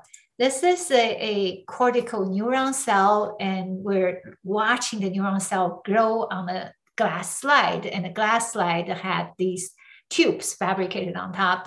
So you can see this neuron cell, the axon of a cortical neuron cell, find the tube, goes into it, comes out, and continue to propagate along the direction defined by the tubes. To me, who work on solid state electronics all the time, seeing these things moving on our devices, uh, it, it's incredible. There are lots of implications of that. And I have another video to show you how much we actually reduce the footprint. So this is actually uh, two inductors over here. It started rolling from the left-hand side and will stop at the end to the right. And this whole strip is a centimeter. When it finishes rolling, it became uh, less than 100 micron in diameter. So that's how much space we're saving. Once we roll it up, it functions as an inductor and we leave this much space to do something else, some other functionality. And so in the same spirit as integrated circuit, we're integrating passive electronic components and we can make L, which is the inductor, C, the capacitor, and how many L's, how many C's, uh, all in the same plane and defined by lithography before we roll it up. Then once we know which one connects to which, give you what kind of band uh, uh, filter, we start rolling and integrate them. So there's practically no limit upon the complexity or configuration of LC circuits, which can be made in the manner of S-RuM, all with one single lithography step. So that, that's the message uh, for the S-RuM. Um, another aspect of nanotechnology I must emphasize is uh, nano started, if you agree, nano started when Richard Feynman said there's plenty of room at the bottom. He's, a, he's there, he was a theoretician. Um, at the time, crystal growth was not developed uh, uh, far away from what uh, we are today. And the imaging technique was there, was not there. So you, you can't see what you're making. But in addition to the imaging techniques, now you can see atomic uh, level structures, see defects, see atom by atom. The advancement in crystal growth technique, Len knows exactly what I'm talking about. The advancement in crystal growth technique or lack of it is one of the major factors responsible or inhibiting the nanotechnology momentum today. So there are two major uh, growth techniques, uh, MOCVD and B for epitaxial, especially compound semiconductors. Uh, so my group worked on a lot of the, these nanostructure grown from the bottom up, uh, um, um, electronics, photonics, uh, even on the, on the, the quantum technology here. Um, so that's the, uh, the other aspect of uh, nanostructure um, that enabled by a bottom-up approach. Is my slides not moving now? I might be thinking about something else. All right. Oh, there are different uh, things showing up. Uh, um, so here's my conclusion. I talk about silicon. I went to beyond silicon, which is the, the compound semiconductor. And uh, I didn't go into the details, but you can start with planar MOSFET, then you go to FinFET. Now industry is moving to gate all around and sheet and stacked nanowires. So there, there, there's always innovation, whether it's structural or materials, uh, there's always plenty of room all around. With that, I'm going to stop and thank you for your attention. Thank you very much, Xiuling, for, um, for, for sharing with us the fantastic results uh, from your research, as well as your vision in the semiconductor nanotechnology. Uh, I certainly agree with you, and there's uh, plenty of room beyond silicon. so uh, with that, let's move to our next speaker, um, Professor Judith Dawes um, from uh, the Macquarie University of Australia. Um, professor Dawes is a professor uh, in physics and also the director of Macquarie Photonics Research Center. So let's firstly watch the video from her. Next, let us cross to the other side of the ocean to Macquarie University, Australia. Since my childhood, I've been asking questions about how the world works. My family have all studied science, and carrying on the tradition, I have introduced my own daughters to science. This is what Professor Judith Dawes said in her profile for SPIE. Judith Dawes is a professor of physics and director of MQ Photonics Research Center at Macquarie University, Sydney, Australia. She was elected Treasurer of Science and Technology Australia from 2017 to 2021. From 2003 to 2017, she was Chief Investigator of the Australian Research Council Centre of Excellence for Ultra-High Bandwidth Devices for Optical Systems. She served as President of the Australian Optical Society from 2010 to 2012 and as a member of the AOS Council from 2007 to 2014. Her research achievements include crystal growth and laser operation of a new laser crystal YBYB, etc. To someone pursuing scientific research, she once said, Don't be intimidated. Believe in yourself and your abilities. Once you find your passion, your enthusiasm will be contagious.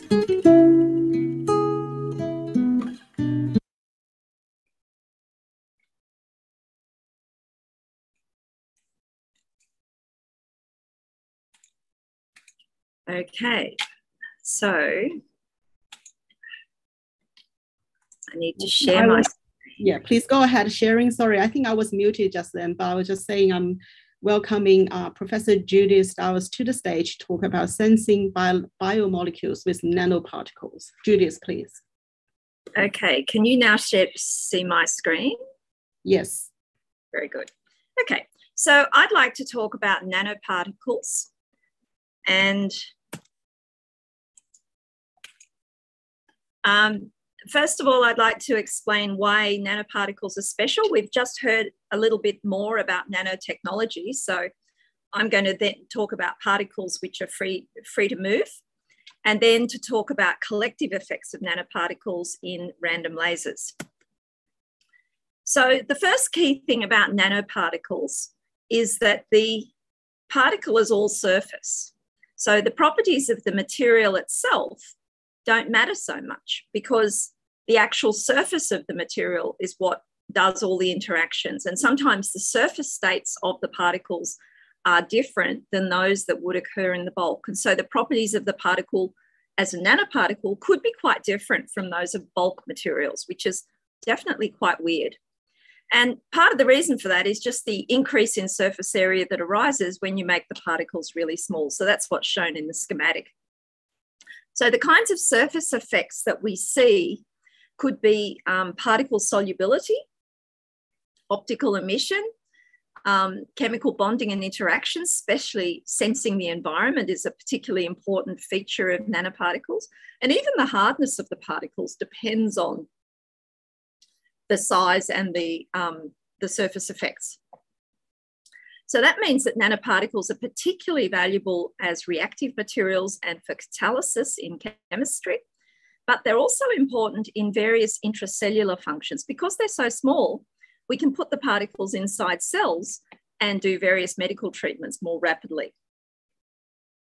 So um, today in Sydney, it's actually very, very rainy and it's flooding. But in 2009, there was a very major dust storm. And this is an unretouched photo of the Sydney Harbour Bridge in a dust storm. And you can see how red the light is. And that's because the light scatters off the particles. So the important thing about the sky being blue is that the light scatters off molecules in the air.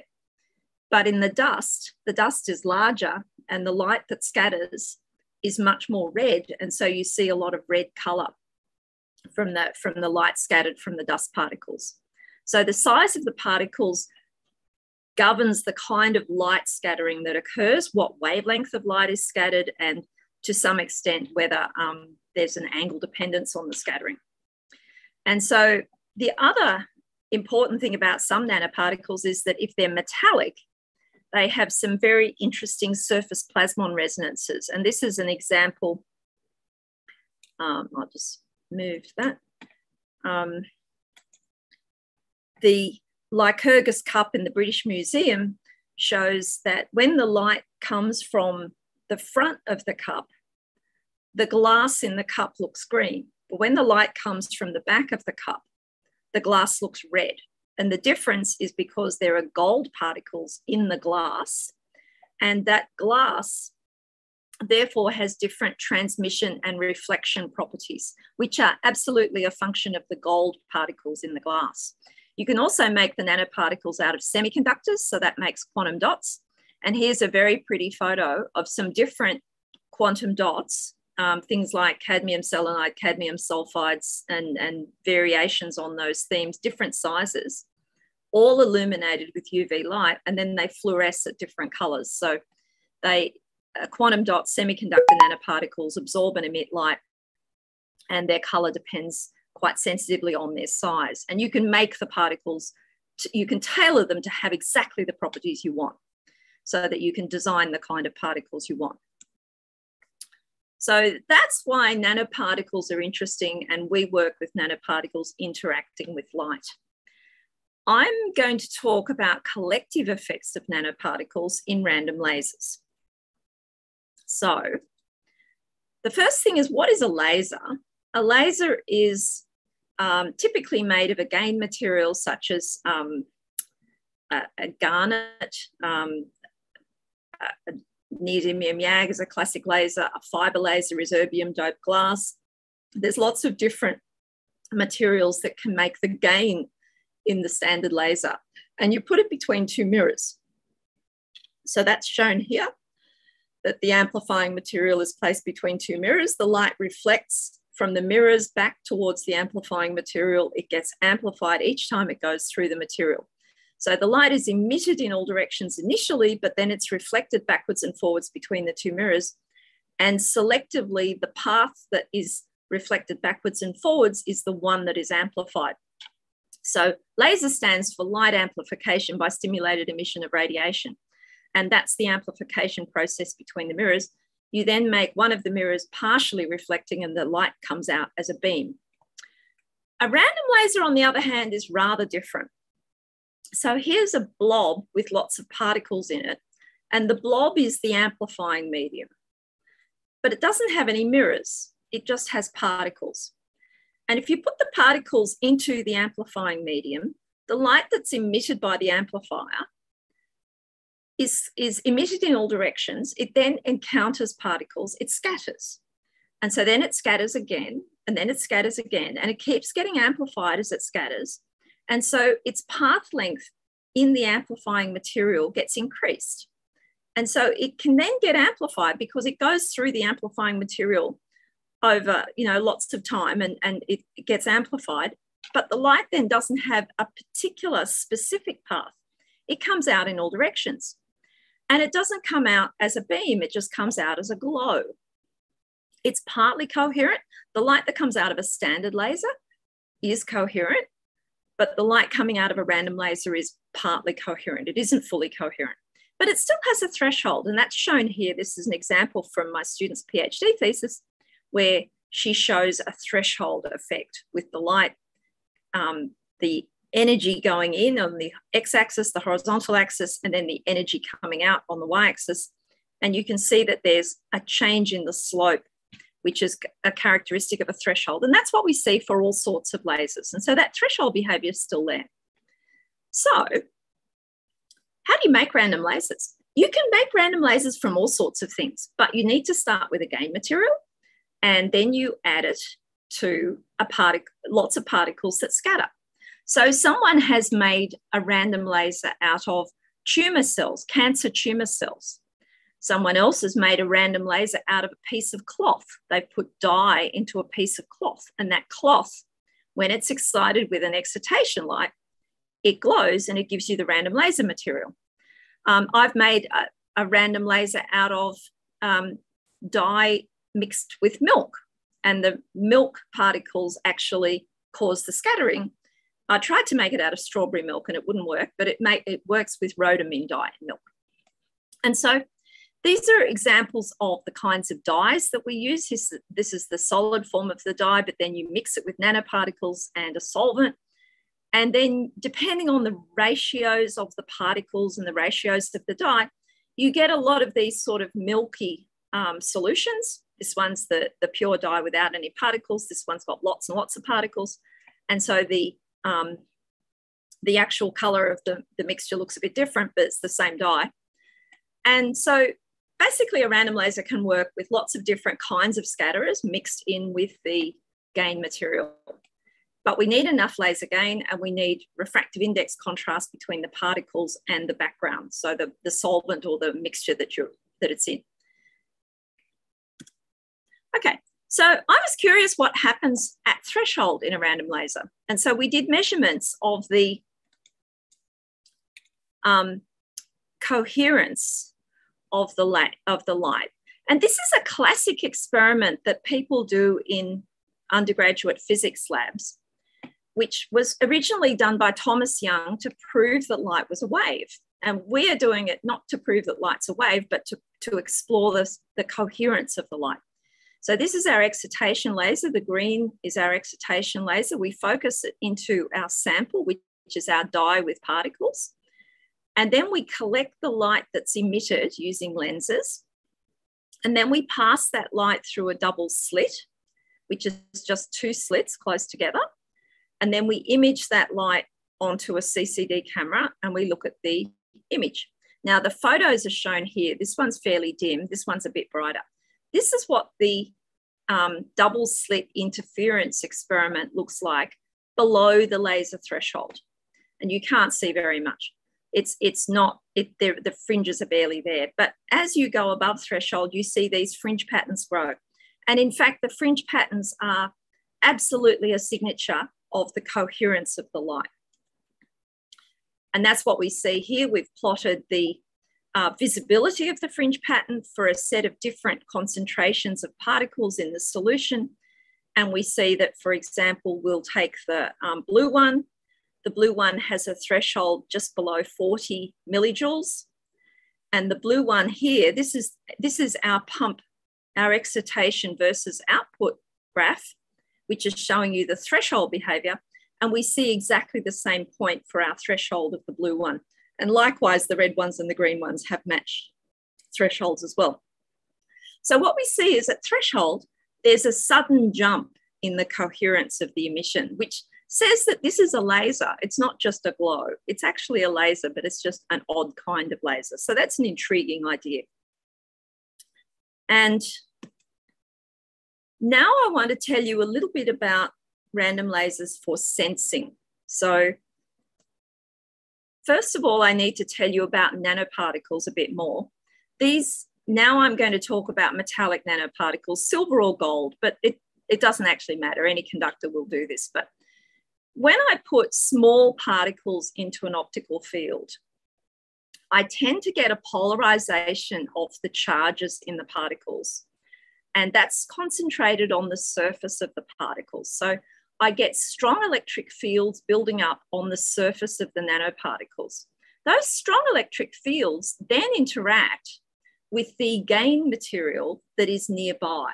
And so I get strong enhancement of the electric fields just on the surface of the nanoparticles, which interacts with dye or any other gain material that is near the surface of the nanoparticles. And so by putting nano, gold or, or silver nanoparticles into my dye mixture, I get a super enhancement of the light interaction with the dye. And this is seen here. When I compare similar concentrations of aluminium oxide particles in a, um, a dye laser with silver nanoparticles in a dye laser, you see that the output from the dye laser, the output intensity is way higher for the silver nanoparticles than it is for the aluminium oxide. So aluminium oxide is dielectric, it's just a normal scatterer. The silver is also a scatterer, but it has this plasmonic effect that it concentrates the electric fields on the surface of the particles and strongly enhances the um, engagement with the dye. And so I get a dramatic change in the performance of the laser when I add the gold nanoparticles or silver nanoparticles.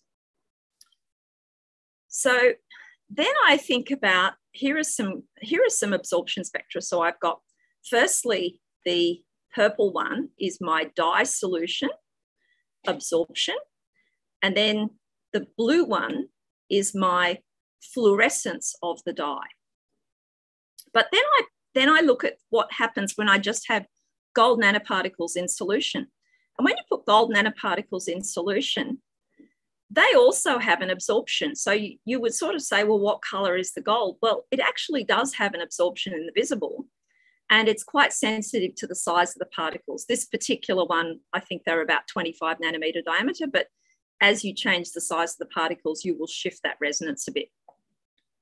So what we're doing is we're looking at where does the dye absorb and where does the gold absorb?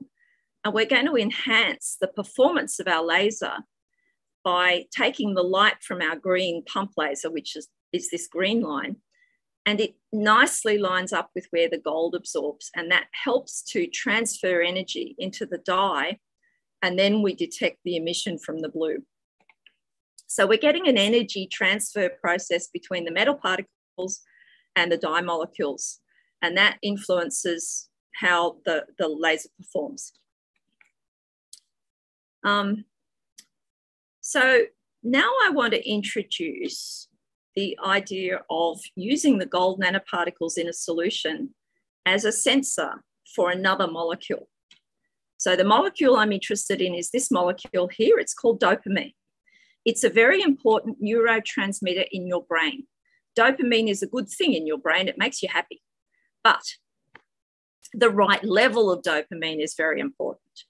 And it's really quite difficult to measure dopamine because the level or the concentration of dopamine is quite low.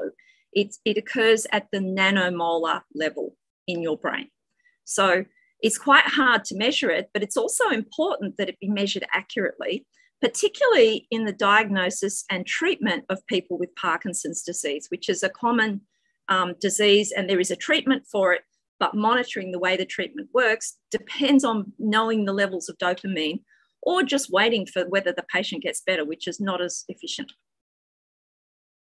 So now what I'm going to show you here is what happens when you put gold particles into a solution of dopamine of different concentrations. So the same amount of gold, but different concentrations of dopamine. And you see that the particles change as the dopamine concentration increases. So what's going on? And this is, this is just a picture of the, the, the solutions, but here is a, a, a slide showing you the spectra. And from the, the black one, which is zero moles of dopamine, so this is just your gold, and that's what you saw in the slide before. Then I increase the dopamine, and this peak drops. So the gold particles no longer have that resonance, but they shift to a longer resonance, a, a reddish color resonance. So, why do they shift to that resonance? And the answer is because the gold, the particles of the gold start sticking to the dopamine. They're attracted to these polar, polar molecule parts of the dopamine, NH2 and OHs are, are very polar, and they attract to the metallic gold particles. And so the gold sticks together and it starts to aggregate. And so here's what it looks like with no dopamine. And here's what it looks like as you increase the dopamine. You get the gold particles sticking together with the dopamine holding it together as the glue. And now what we do is thinking about that, we use this with our random laser. And so we put the gold particles and the dopamine in with the dye solution. And we already know that gold, gold particles with dye makes a very efficient laser. But what we need to do is then detect how much dopamine is added. And so what we're seeing here is sort of the molecular pattern that you've got a reddish one versus a bluish one. The reddish one doesn't have, it hasn't aggregated, but the bluish one has started to aggregate. And these are sort of funny clumps. But the color literally depends on how big the clumps are. And so I said to you that the color depended on the size of the particles. These particles are bigger, the color is different. So then what happens when we run our random laser? The random laser emission is um, peaked as you increase your pump power. And you can work out where your threshold is for each one. And then you can plot those graphs of input versus output for different concentrations of dopamine. And you can work out where the threshold is for each of the concentrations of dopamine. And what we found was that the random laser threshold depends very sensitively on the gold aggregation and the dopamine concentration. And we can increase our sensitivity by three orders of magnitude or more by doing a random laser measurement versus doing the colorimetry, which was that original spectra. So the original vi visible UV spectra work, but they only work down to about 10 to the minus 4 molar. We need to get down to 10 to the minus 9 molar. And to do that, we use the collective behavior of the random of the of the nanoparticles and we amplify the response of those nanoparticles by doing a random laser measurement. And so that's a, it's a way of increasing the sensitivity of our detection dramatically. And so this is the, um, sorry, that has shifted because that line should lie over the black points. Something has happened to my graph, sorry. Um, I'm, my apologies, that the line should lie on the black points, which makes no sense otherwise. Um, but what you see is there's actually a linear trend in the log scales um, for dopamine sensing over five orders of magnitude. So we have a very sensitive mechanism for measuring dopamine. And um, this is just using the gold nanoparticles in the random laser. So that's an example of applying nanoparticles to a sensing challenge. And I've told you a little bit about why nanoparticles are of interest because their surfaces do all the interesting engagement with the environment. And we can see that if we can do collective effects of the nanoparticles, we can enhance the sensitivity of detection. So at this point, I would like to thank my collaborators, in particular, Wan Zakiah Wan Ismail, who is now a lecturer in Malaysia, and my collaborator, Charlotte Hureau, who has um, completed her PhD and is now working in an engineering firm in France, and Professor Ewa Goldys, who's my colleague at, at um, in Sydney. And I also acknowledge funding sources. So I was going to add a little bit about my career progress. So to give you an idea of my background, I'm Australian and I completed my schooling in regional New South Wales. I studied a BSc honours degree, which is a four year degree in physical chemistry. But in the middle of that, I spent one year working in a pharmaceutical company doing organic chemistry. And then I sort of moved away from organic chemistry towards something more physical. And I did my fourth year project at ANU and in using a high power laser. That was amazing. And I became fascinated by lasers in that year. I've worked with lasers ever since. So I really love working with lasers. They're really interesting. It's not just that they're pretty, a lot of the lasers I work with are infrared, but they're fascinating. They've got a dynamic response to what you do to them that is amazing. And in my PhD degree, I um, built a high power laser. During my PhD, I spent one year in Rochester, New York, working at the Laboratory for Laser Energetics, and I worked with Professor, Professor Gerard Mourou and Bob Knox. Um, and that was the year that Donna Strickland did all her work with Gerard on the Nobel Prize, the um, pulse compression of light in optical fibers. So that was that was that year. It was a very um, momentous year. I mean, not we didn't know that at the time that she would win the Nobel Prize, but it was a very momentous year for me because I met my future husband. It was also a really exciting time because we, I learned so much in that one year working at this very large lab. And I'm very grateful to the Rotary Foundation for sending me. Um, Rochester gets a lot of snow, and that's a picture of snow. That was a shock, but anyway. Um, working as, as an academic, I did a postdoc at the University of Toronto uh, and then I returned to Sydney and uh, worked at Macquarie University and have, grad- have been there ever since and I've gradually been prom- promoted to professor. I teach optics and physics and I teach everybody from first year to master's level. Today I've uh, done a two-year tutorial in, in first year and then I've done a one-year class in a master's class. So I, I do everything. Um, over my career, I've successfully supervised more than 30 research students at all ranges. Many of them have gone on to work in industry and academic positions. Some have gone on to different kinds of careers, like um, becoming doctors or lawyers, patent lawyers, or one of them became a stand up comedian. So they've done a range of different things. In my research career, I've done a range of things. Because I started off in chemistry, I've worked on the boundary between chemistry and physics.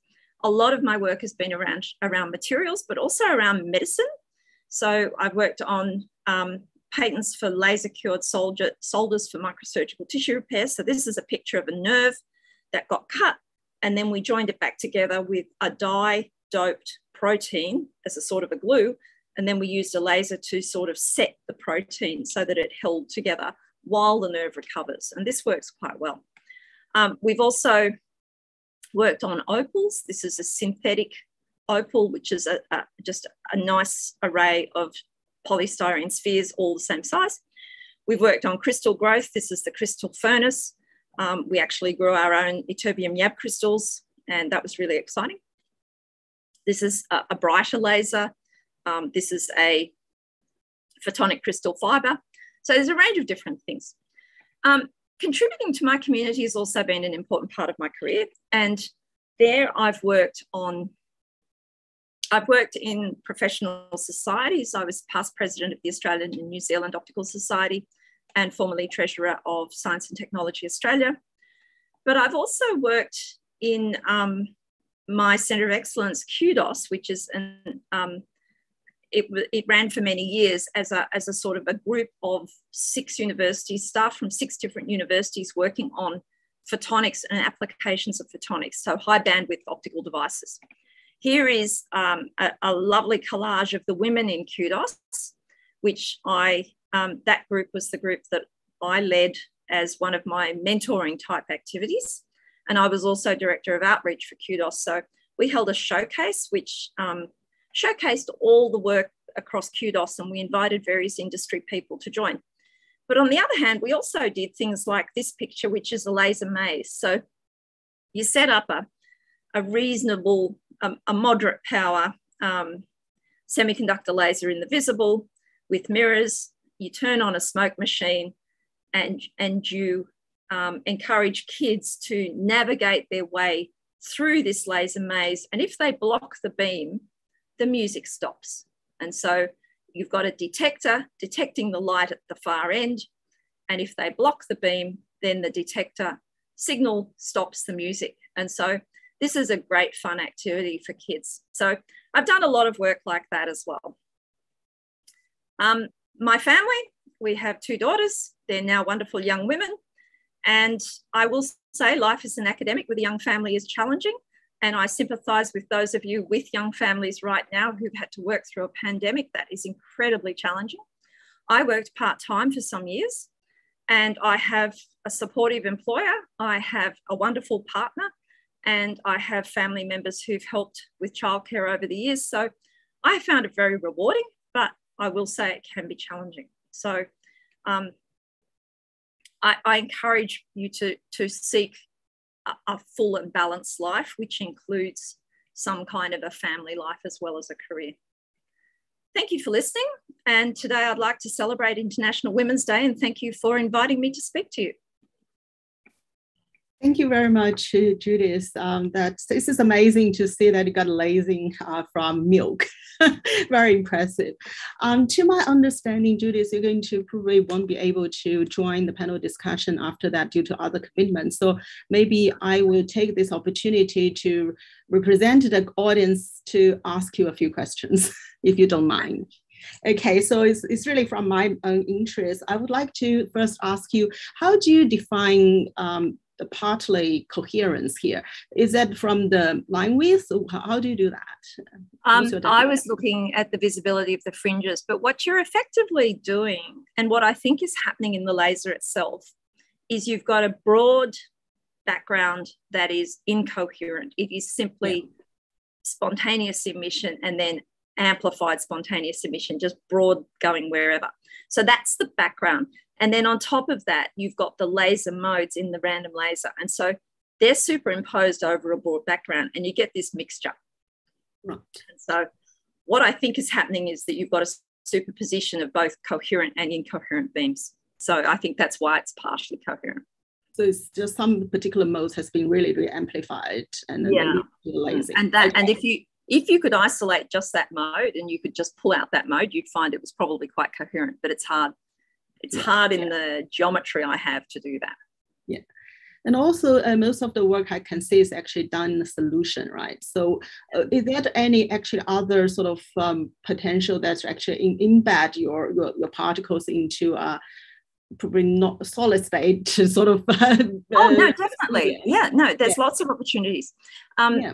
One of the things we've done is to make uh, thin films with um, uh, PMMA or PVA film spin cast and you can embed particles, nanoparticles into that, and you can mix your gain material, whether it's a dye or, or even another nanoparticle. You can mix the, the material into that. Uh, we've also introduced the uh, dye into a hollow core optical fiber. And then, and what's magic about that is you mix a dye solution and you introduce it into a hollow core fiber. The hollow core on its own won't guide. So you put a photonic crystal around the hollow core to keep it guiding, which is mm-hmm. minor detail, not hard, not, not easy to accomplish all of that, but you do that. And then um, what you find is as you add the nanoparticles, the threshold of the laser goes down. And that's really, really intriguing because you think, oh, it should go up, but it doesn't. It goes down. And why? Because you've increased the paths for the amplification. So you can make a laser in a fiber. And people have made random lasers in telecoms fiber. And they're relying on random defects in the fiber over a long length. And those random defects scatter. And then you can then just build a random laser from a piece of telecom fiber. So there's there's all kinds of things you can make a random laser from. Yeah, very interesting. So that leads to my next question: Is that possible then make an electrically injected laser? Ah, okay. Um, I don't tend to work with electrical injection, but I don't see why not, because you can certainly make semiconductor nanoparticles in, in a solid phase. You can make a, a film of them or just um, embed them even in another material. Mm. And then you would excite them. So if you can make a quantum dot lace, you should be able to put lots of quantum dots close to each other and you should be able to make that lace. So I don't see why not, but it's not something I've done. And yeah, I'm yeah. I'm not yeah, familiar with whether anyone else has done it. I, I, I can't say yes or no, I don't know. Sure, that, that's interesting. I might just read a bit more about your work in this space because we make some, you know, um, nanowire based basic 3D structure. Oh, yeah, okay play emitting, it's like light emitting diode. So I was thinking of whether that mixture with some. Oh, I think that would work. Yes, yeah, yes. That would be really interesting to explore. Yes, yeah. yes, that would be fun. Yeah. Okay, cool. I might just get in touch some sometime okay. in discussion. Okay, so now that's that's pretty my question about your your presentation. Uh, certainly, I also want to um, uh, before let you go to ask you about because you have got a long uh, successful career in science as a scientific researcher and you've mentioned in some of your in final um, slides talking about various important issue um, the, the, things related to uh, women um, young women scientists or people pursuing career in science. So i think do you have any final sort of uh, wisdom to share um, and advice to the you know young girls getting into scientific world?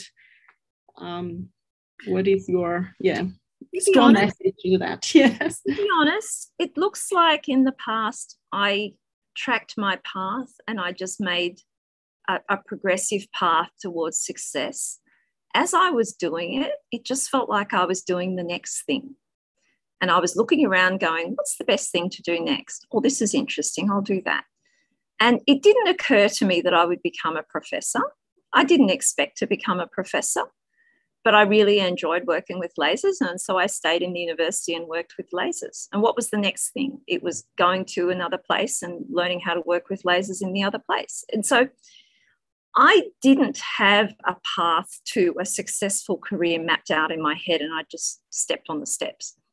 I just made decisions as I went about what did I think would be a great opportunity or um, tried I tried to work hard when I got the opportunity. So I tried to make the best of each opportunity I had. But I think I think have confidence that you can find a satisfactory and satisfying career. And it doesn't maybe look like the one you thought you were going to have, but you make choices as you go. And I think be patient with yourself. The period with the pandemic has been really horrible for everybody. So be patient with yourself. It might not go might might not go right first go, but give yourself chances to have another go and keep trying. Because I, I think you can make a successful career with many different shapes and many different paths. Great, that's that's wonderful, Judith. I think that's uh, resonant a lot with my own experience. You know, it's just follow your passion and your curiosity, and then make the best of it. Thank you so much, Judith, for joining us today. And I think I could let you go now and okay. have a great day, rest of the day. Thank you for the invitation. Okay, thank you. Best See you. Okay, now I'd like to invite all the panel back to the stage. Oh, sorry, I forgot. Uh, we have one more speaker. I'm really sorry for that because um, um, I've got another speaker, wonderful speaker, Professor Yuhong Bai. Um, she is um, actually not only a professor, but also now she is uh, actually director of the Light Publishing Group of CIOMP and also the chief editor of journal Light Science and Application. So let's firstly watch her video. This lady personifies intellectual elegance. Though small in stature, she has a tremendous energy that is envied by most who work with her. At work, she is tireless, never afraid of rejections or failures. Her clear vision and amazing perseverance has made her a well-known figure not only in the Chinese publishing industry, but also the world optics community. She is Professor Yuhong Bai, director of the Light Publishing Group. In 2012, the journal Light Science and Applications was born in China. Within a few years, it has won recognition and prestige and is now one of the top 100 journals in the world. With an impact factor of 17.782 in 2021, it is also one of the top three optical journals and has been so for seven consecutive years. These achievements are the direct results of the hard work of Professor Bai, who had the courage to dream big and the practical knowledge to turn that dream into reality. As the founder of the journal LSA, she has managed to form an editorial board which consists of many respected optical scientists both in China and elsewhere in the world, paving a solid foundation for the journal's development. By now, LSA has truly become one of China's most internationally influential scientific and technological journals, a world-leading optical journal, and has been featured by domestic and foreign media such as People's Daily and Japan's NHK TV. Sponsored by the Light Publishing Group, the Light Conference is a much anticipated annual gathering for optical experts from internationally renowned academic organizations and universities. So far, more than 5,000 experts from more than 30 countries have attended, building a platform for academic exchanges and scientific research cooperation. In recent years, the Light Publishing Group has been focusing on new optical interdisciplinary and advanced manufacturing, launching eLight and Light Advanced Manufacturing, setting up new overseas offices, and building up quite a fan base with the journal's overseas social media accounts. Whilst normal offline academic exchanges are impeded by the raging pandemic, the Light Publishing Group has launched a series of online activities such as the Light Online Classes, Doctoral League, Optical Future Stars, and Light People. Over the years, Professor Yuhong Bai has been able to lead the Light Publishing Group to steady development by keeping pace with the times and constantly learning from established overseas journals. She is determined to build the Light Publishing Group into a leading international publishing brand with distinctive Chinese characteristics to help the development of the world's optical industry. Outside of her busy work, Professor Bai is a keen lover of ballet, yoga, and meditation. In work and leisure, she gives 100% to all her undertakings.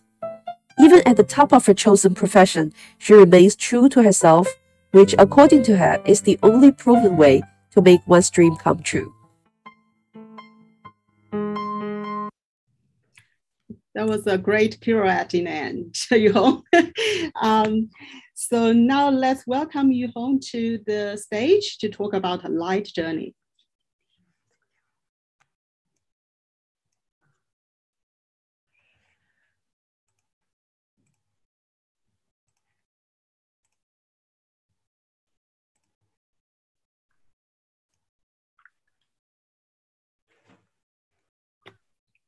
Good morning, ladies and gentlemen. Thank you very much for Professor Lan's warm and kind introduction. I'm Yuhong Bai, a group leader of Light Publishing Group, which published seven optics journals. I'm one of founding person and chief editor of journal Light Science and Applications. Today, we are getting together to celebrate International Women's Day Taking this special moment, I'd like to share some stories about myself and journal Light Science and Applications.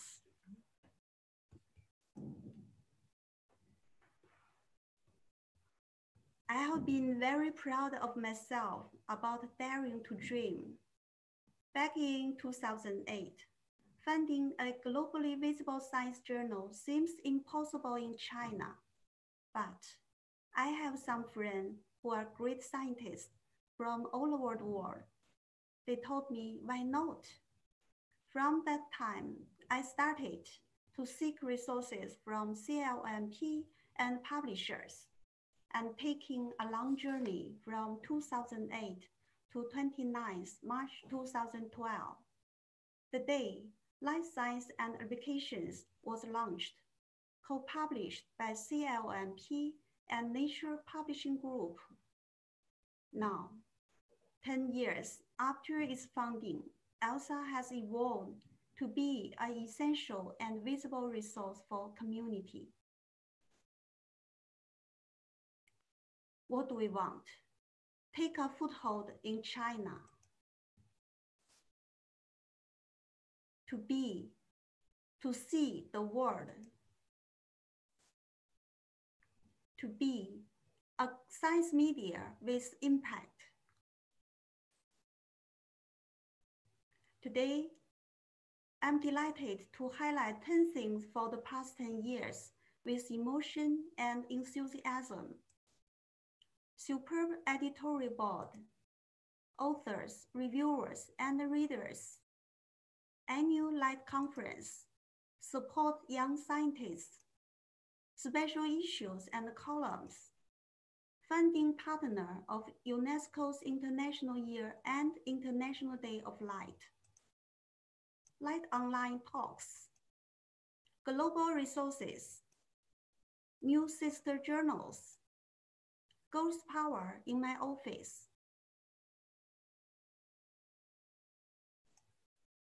First, our superb editorial board I'd like to express my congratulations and appreciations to our editorial board members and the regional editors.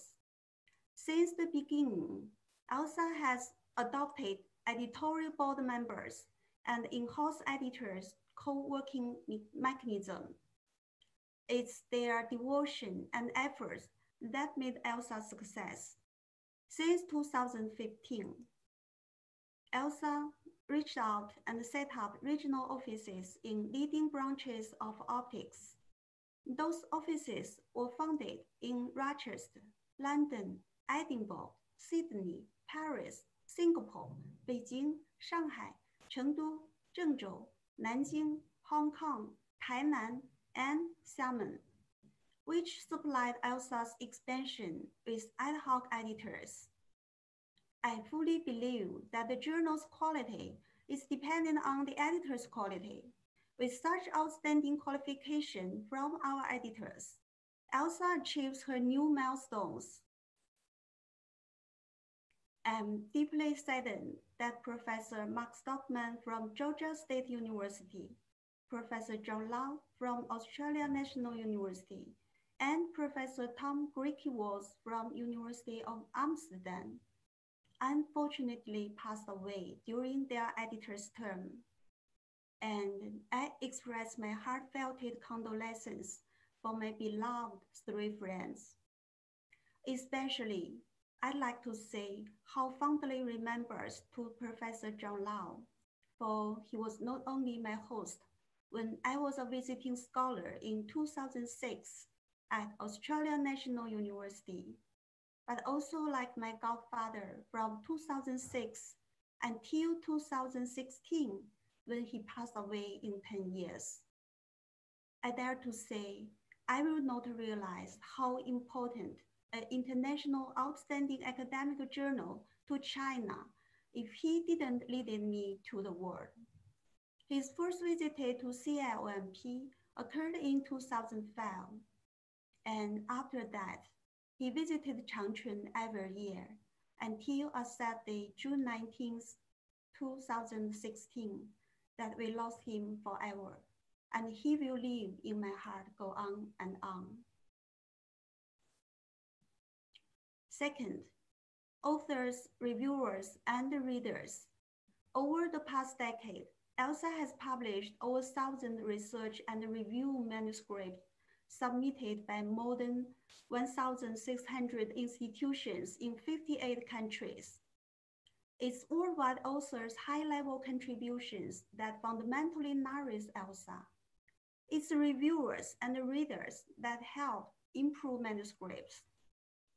And I thank our readers for keeping a very close attention on ELSA's papers and always sending us their first-hand feedback.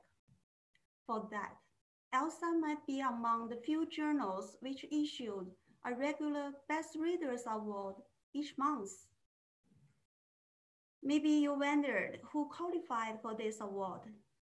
My answer is one, who provides constructive suggestion for ELSA in improving its quality or impact.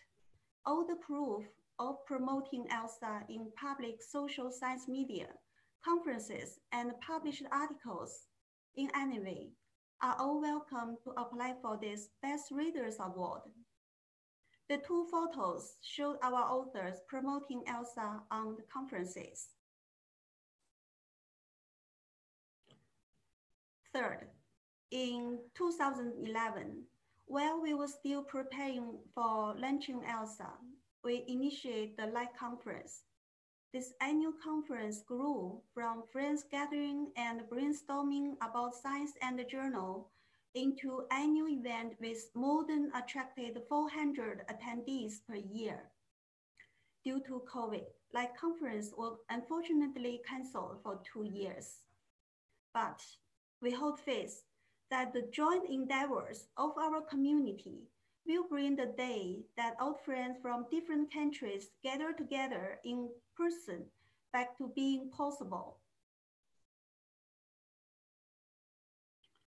We started the Young Scientist Award, Young Scientist Forum, and a very prominent event of Rising Stars of Light.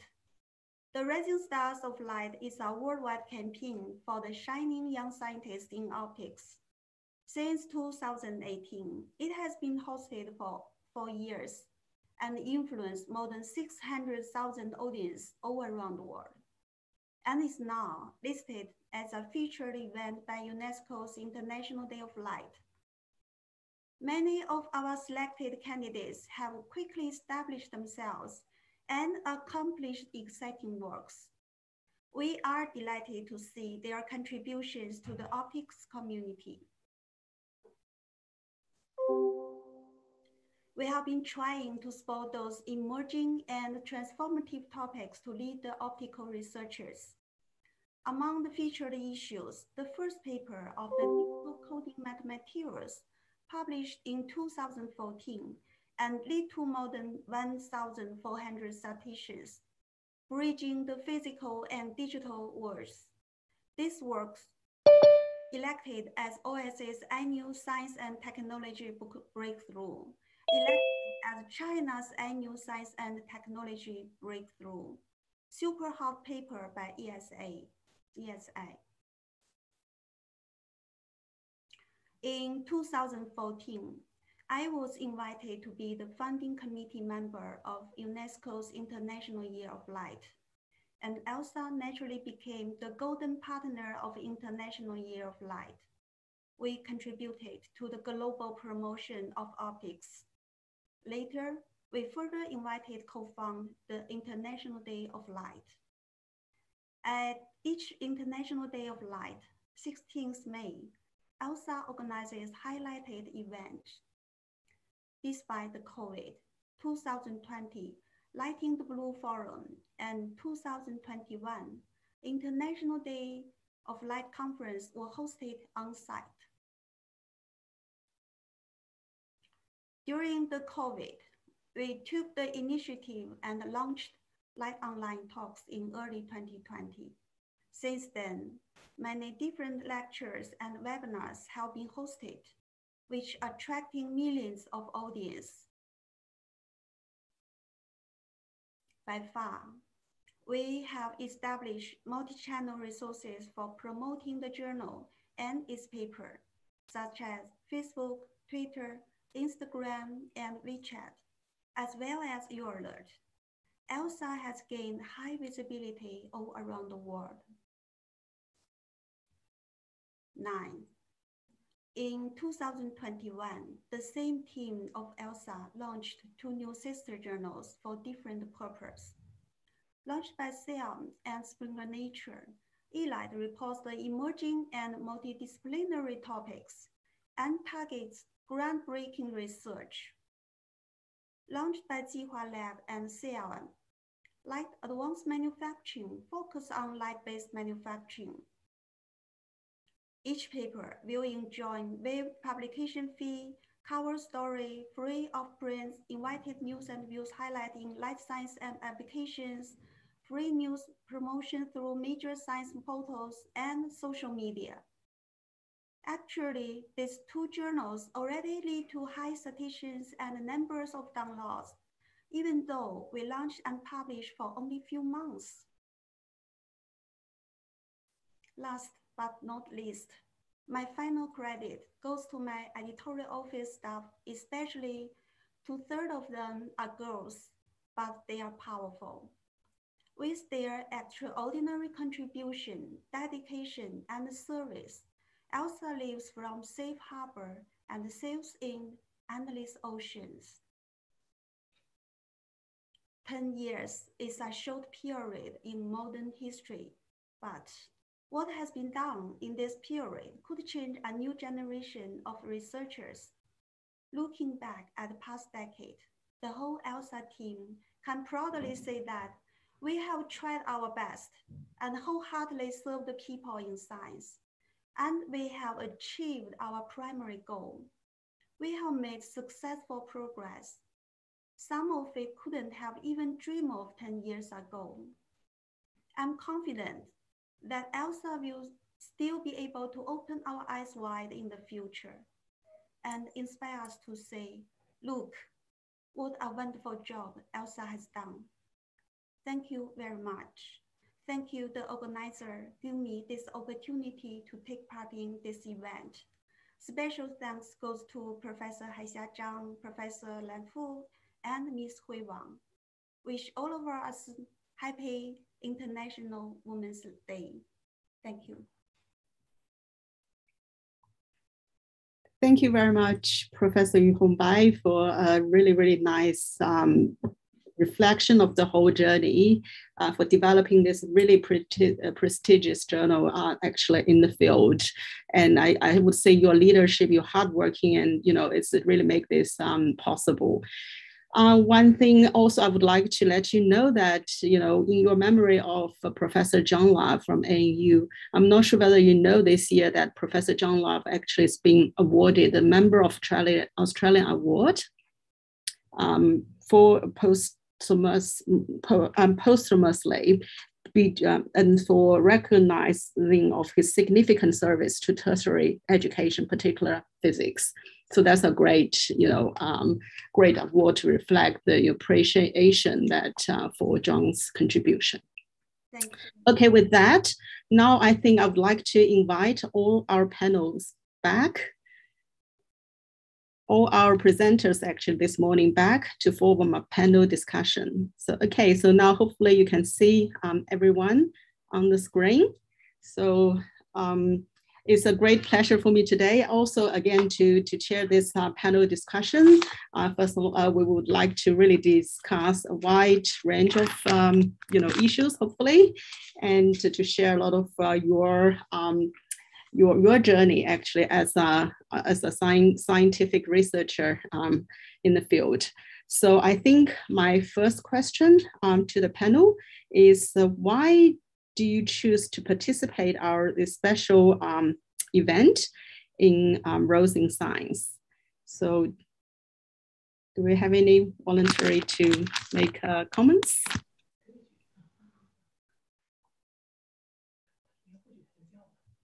My screen I can start. sure. Um, Isinsu first, and then we go to go to home. Yes, go ahead. Okay.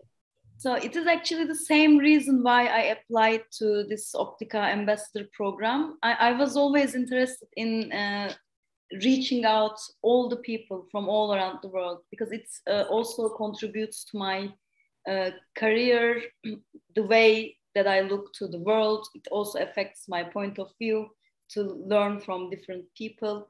I heard your event through Optica, and when I heard it and invited, I accepted uh, because I wanted to share my experiences and I, I, I also wanted to learn from you. Right. Yes. Um, yeah, I'm, I'm sure like, you know, people will reach out um, by, you know, also saying your presence at this platform. Uh, Yuhong? Yeah, thank you. Any comments? Yes. Actually, to be honest, this is not my first time to take part in Rose Science event. I was the first speaker when the event was launched in 2017. Back to the beginning, I thought it was a great idea when Ms. Wang talked to me about planning an event named Rose Science. Ms. Wang and I, we used to work together and we understand each other very well.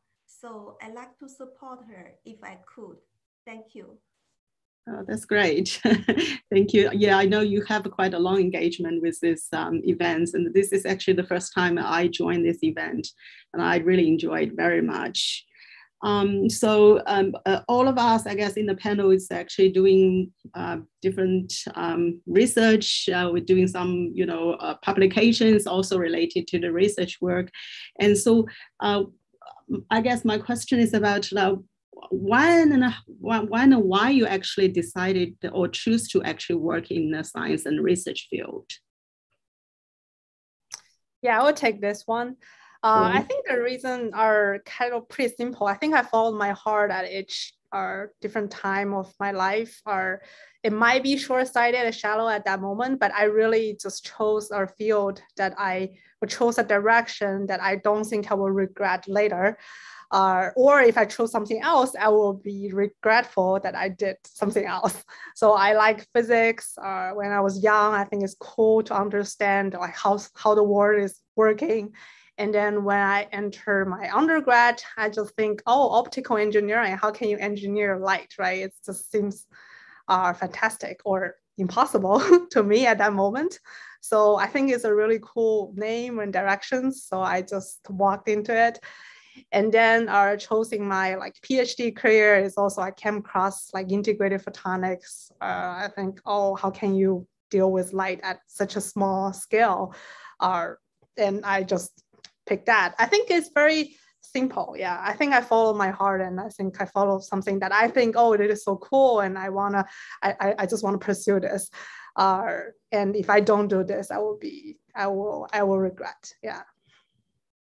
I think uh, follow on. I mean, early on, Judy was uh, Judith was mentioned like she was never, she hasn't never really decided that she wants to be a scientist from the first place. So she basically followed the followed the path. And um, is that the same as you? It looks like from your presentation, you mentioned like you early on you had a dream you want to do, you know, science something. So have you already, when you're young, have sort of this kind of dream you want to be, uh, you know, scientist sometimes in the future?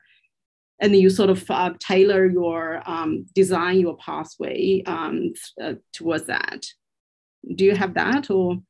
Yeah i think i think so. I think it's just what i was i, I was ex- more exposed to science and engineering. But i think if i was exposed to other things i might fall in love with that as well. So uh, it's hard to tell. I think if i end up in somewhere else i could also do well and not necessarily need to be a professor.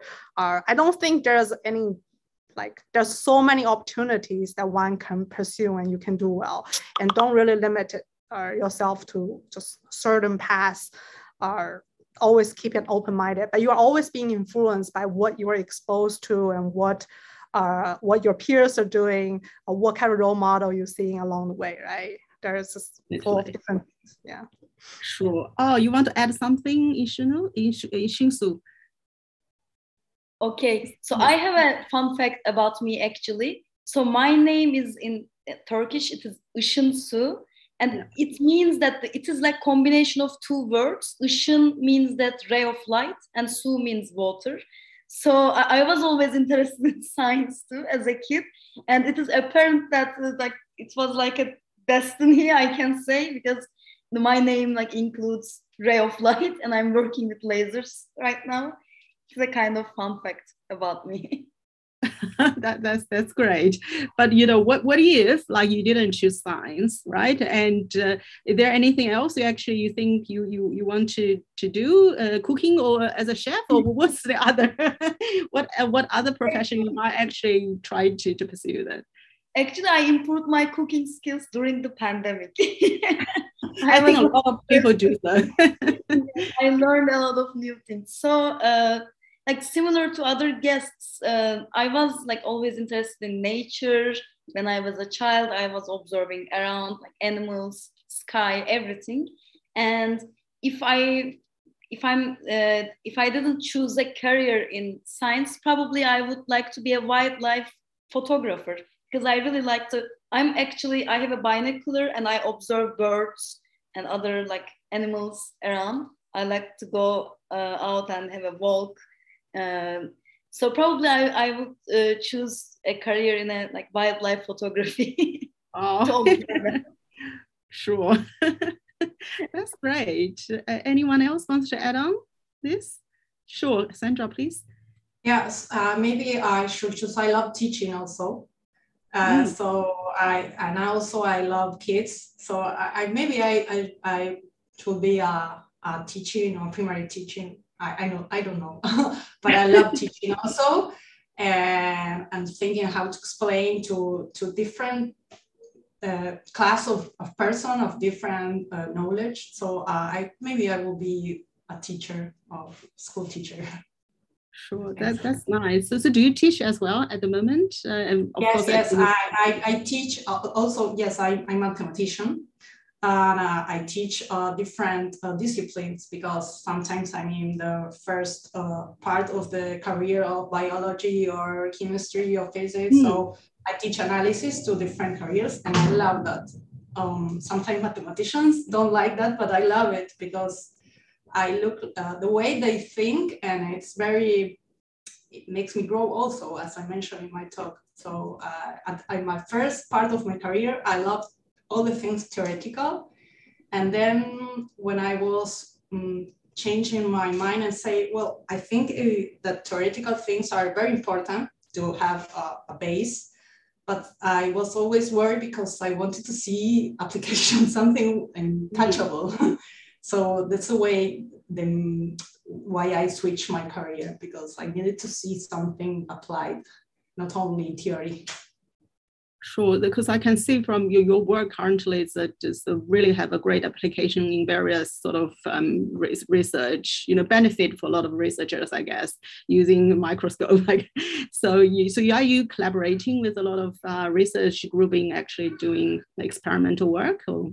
Yes, yes. Uh, the photonic lab uh, works with, they have their own uh, two photon microscope I only do the mathematics or the post process. I just use the algorithm that we develop. And, uh, but uh, there are a lot of microscopes and type of imaging that can use this uh, post process, that it, it is uh, a post process after you took the image, then you, you can super resolve that results. And I understand um, a little bit of the application, but uh, I, I like to listen people who, who is using what you, you something touchable uh, after you, you do the math, there is something that they can do with that and see yeah. more than the microscope. That's, that's the, the key idea of the method. Yeah. Sure. Yeah, great. Um, so my next question to the panel is, um, uh, what do you think is the, you know, what, what do you think are the essential quality of an excellent research scientist? So if you, what is the most important quality?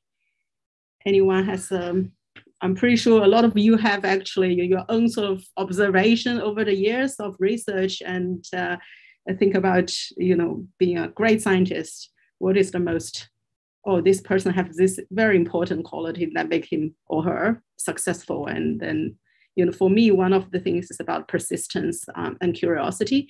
And Xiuling, you, I have seen you turn on the microphone. Please. All right. Ahead. Yeah. Uh, you basically said the well, answer to, to, to, the uh, excellence, but just step back a, a little. If I knew the answer when I pick graduate students, well, I wish I, I did. So it's very hard when you when when we tell people what we think will make an excellent researcher, you can say it, everybody seems to understand that, but to be able to do that, that is something different. To be able to tell who's better suited for this type of research, who's better suited for another type, because there are different kind of research. But what you said persistence, is definitely out of all the characteristics, I think that I would rate that number one. You can be really smart, you can be really creative, but if you give up easily, you're never going to go anywhere. So that that that is the number one quality. The second thing you just said, the curiosity. You have to ask good questions. You have to have questions. You have to ask the question in the, in the right direction almost. If if you ask way too many questions, so there are bad questions and good questions, you're never going to move on. So you need to, for students, if you really want to publish, you have to take it to the publishable end. And how do you get there before other people do? That's how you publish, which is, this is a very microscopic view of that instead of changing the world, which is another way to, to ask questions. Uh, we need both. You have to think big. You have to be observant of the little things, but you cannot be trapped and want to know every single detail before you make the next decision. So that that that's another, and along with that, because you cannot, you will not have the time to look into every single detail to understand the phenomenon fully before you make your next decision. You got to have the mindset to take risks. And that risk is something if you take the risk you have opportunity you have to embrace the opportunity so so uh, all of these are really good char- characteristics that again it's easy to say hard to do but if you keep reminding yourself, reminding your students. Uh, maybe you'll make a difference in somebody else's life. Exactly. I guess a lot of things you can also develop on the way, right? It's no, nobody's born to be like that, but you learn. Unless you have a name like Isinsu, Isinsu you're born to do laser. That's true. yeah, I'm joking. Thanks, Julie. Anyone wants to add on? Yeah, I think I, of course, echo that. I just want to add one more thing I think is really important, which is I think communication skills, and that comes in many perspectives. Or you have to be able to, let's say you have a data, you have to be able to tell like different kind of stories about the data. It's really about what you tell, what you uh, like with something you have, and also like you have to be effectively communicate with your peers, your lab mates, through you know how to get help and how to help people through um, like uh, through communication. Uh, they're also like how can you convey like broader audience? Let's you go to a conference, you talk to uh, people outside your field. How can you uh, convince people what you're doing is impactful?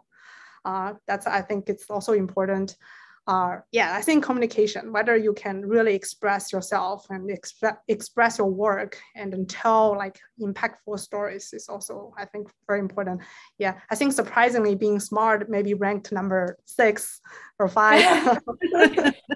I, I, just want to add a point to, to that one. over the years, we participate in student committees and all that. Communi- good communication doesn't mean you speak perfect English or perfect any other language it is the logic, how you express yourself in a logical way.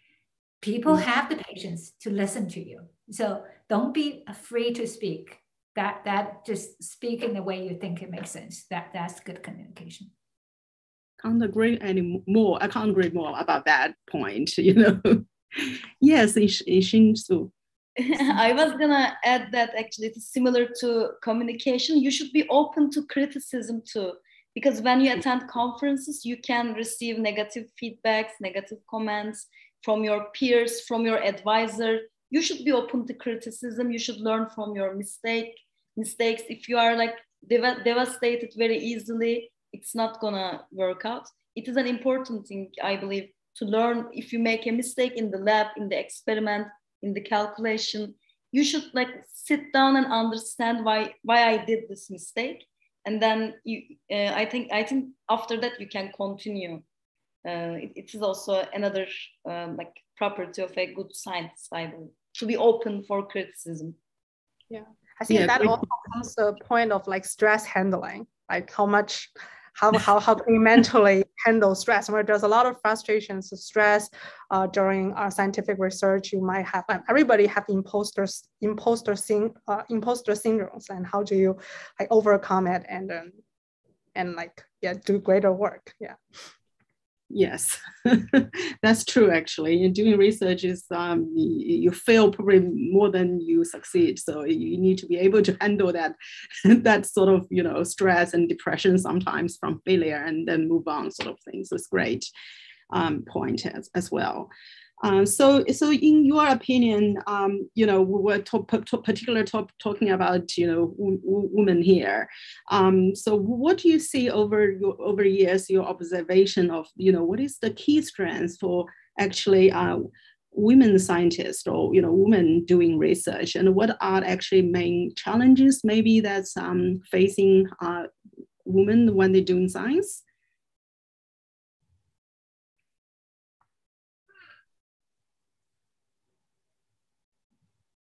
So have you observed something really particular about your, you know, you know, female students who actually exhibit some very special quality or strengths during research? Um,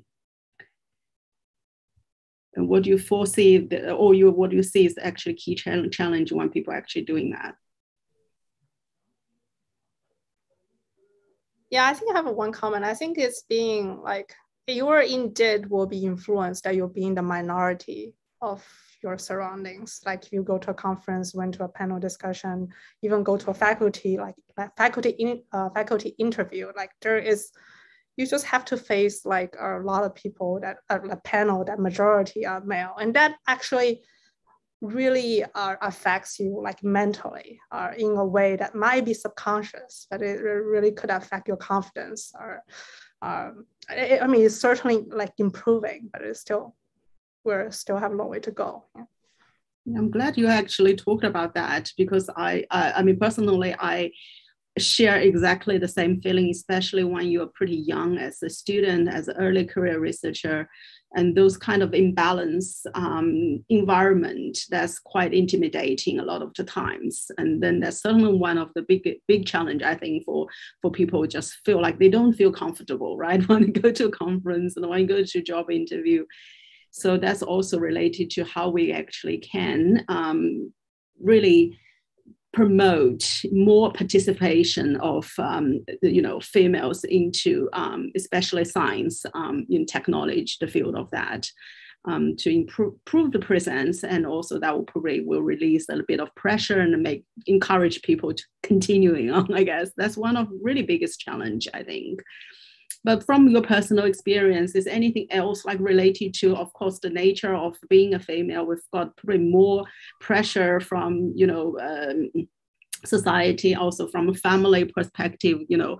How do you think is that a real challenge? Or actually you know we shouldn't take it as a challenge i mean it is challenging situation but it's just something in nature in our life we have to do. So what's your reflection on that so um, i have a comment here i think uh, first of all we should change the view of a scientist in people's mind they usually imagine white old male person as a scientist. And for example, uh, uh, I was supervising a lab after my PhD, and I, I was the, like the, let's say, main manager of the lab. When a visitor comes from outside, and if I'm with other students, and they are usually male students, engineering or physics students, they would shake hands with the male students because they would think that they are the manager of the lab.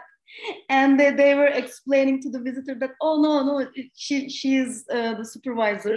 And i'm like yes i am the supervisor. So this is kind of light example in my opinion because i heard a lot of like worse harassment stories as you mentioned because we have a we are a minority in a scientific community there are of course worse examples i think first we should uh, like break down this white male old scientist image in people's minds. And that just happened to me today with a salesperson, and I'm old, and they think, yeah, they got that wrong. That's exactly. I think we, we probably all more or less had some this kind of experience, and but, but today we can see a great panel here, and then you know doing great science, and that's hopefully that send a really really um, positive uh, message to our community and to really change that image, I guess um, with that. And, and also to my own sort of uh, observation, I think, you know, girls and boys, they're all great um, when they're doing science. Um, it's just personal strengths are very different, I think.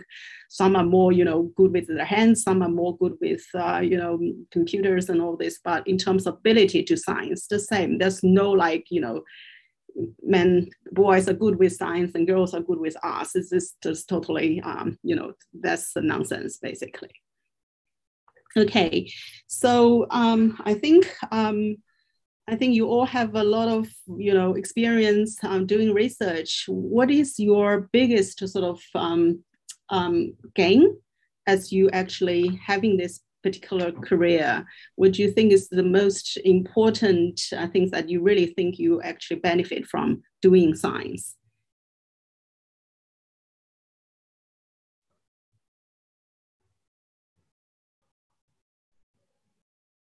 Can I give a fun answer to that? I was able to, I was able to travel a lot uh, because I attended a lot of conferences. I met with different people. Uh, apart from the scientific side, I can say that this is the, most fun part that I gained. Travel, yes. Yeah, travel, seeing new places, meeting with new people. Yeah, great. Yes, I, I think travel is really one of the, you know, a really great side sort of benefits from being scientists, being able to, yeah. go everywhere. Of course, not uh, apart from last two years, the pandemic. I think we have a lot of opportunities to, to actually travel and um, to meet people from all around the world so that we have really learned a lot of things. And for me, I think, but on our hindsight, to be honest, um, because the travel gave me a lot of actual headache because, you know, when I was um, having two young kids, and they're very young and, and then I was at a stage when I was still quite um, early into science science and travel was being a big challenge I think and then I think nowadays, because of pandemics, changed the way sometimes like we have those more more virtual opportunities. Maybe that'll help actually more in the future. The young scientists, the young you know female scientists, when they actually having kids, young kids, and that give more opportunity. Maybe that will encourage more participation as well. So apart from travel, uh, what else? Um, personal sort of development aspect. I think it's education. Like to me, like and stay young. You always stay young if you're in if you're like a, in education field. You always work, work with younger students. You see them to grow to some person that is better than you, more like expert than you. I think that just feels great. Yeah. Yeah, exactly. It's funny you're the one who's saying that, and you're just starting. well, I mentor a lot of graduate students. I was so happy. I mean, that's it, why it I'm. Is- in industry, you grow old together with your co- colleague. In universities, uh, you never grow old because your students is this constant age. Yeah. and it's also, you know, our work is so, uh, di- you know, it's it's challenging, and also you get new things. You got to new learn things every day. Basically, we have to keep learning new things, which keep us also quite young because you just need to learn. Like, um, yeah. So, any other points to add? Okay, if not, maybe I can ask you another question about, you know, we, we all work in science and we, we're working on really addressing, you know, difficult problem in the field. We're trying to address open questions. And so can you give, uh, talk a few examples of how you actually overcome some difficulties when you have really very hard problem solve?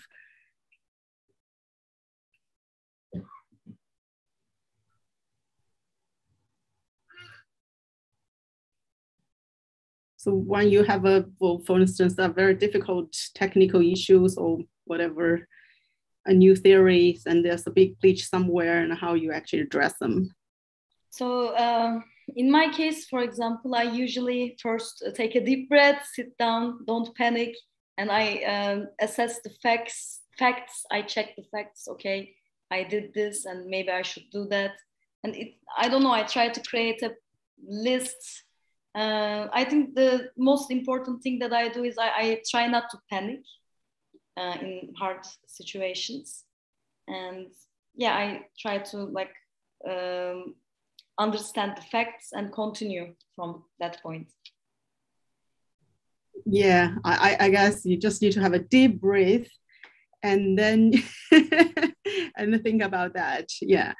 Um, so I guess I think, can I pose the question to you, Yuhong, about, you know, I'm pretty sure when you being an editor, right, you interact with so many um, scientists in the world and you have to chase sometimes, you know, I, I can understand when you have a, a submitted the manuscript, you have to chase uh, some of the reviewers and all this, and some of the people might not reply on time and all this problem organizing conference. Is there some difficult situation you have met with and you actually, what's your approach to actually oh, address those difficult situations? Uh, thank you, Professor Fu. Yeah, that's a good question. Actually, uh, for example, from the very beginning, when we want to invite the reviewers just for one paper, maybe we need to send out uh, at least uh, 60, you, you, you know, one paper, wow. 60 reviewers altogether, but not the, the uh, at once in one time. Maybe uh, at beginning, we send out for five people to review this paper and all rejected and later on another five, and then another 10, because this is a very new journal. No one know who, uh, where it is come from. So finally, totally we got 60 person and finally we got three agree to review this paper. But this paper, it is very great. Now we publish it in 2012 at the initial uh, launching first paper. For the first paper, we invited 60 reviewers wow. and uh, most of them rejected. Only three person accepted and finally we published it. Uh, that very frustrated. But mm. now on today, it's totally different. if we, we send out for the reviewers, maybe just two, and uh, then almost in 10 minutes or even in one hours re response to us. So time to time with time being, that is different. And also a lot of a hard time for just like you said, like today's event, the Rose in Science, uh, the you and Professor Haixia Zhang and Miss Hui Wang, you can invite it from different states, different uh, continents, join this event. But for us, when we want to invite different people to join the like conference, for example, 2011, when we want invited 20 speakers, maybe we reach out 120 people. And then finally 20 person agree with us. That is a difficult time. But nowadays, after 10 years, it's totally different.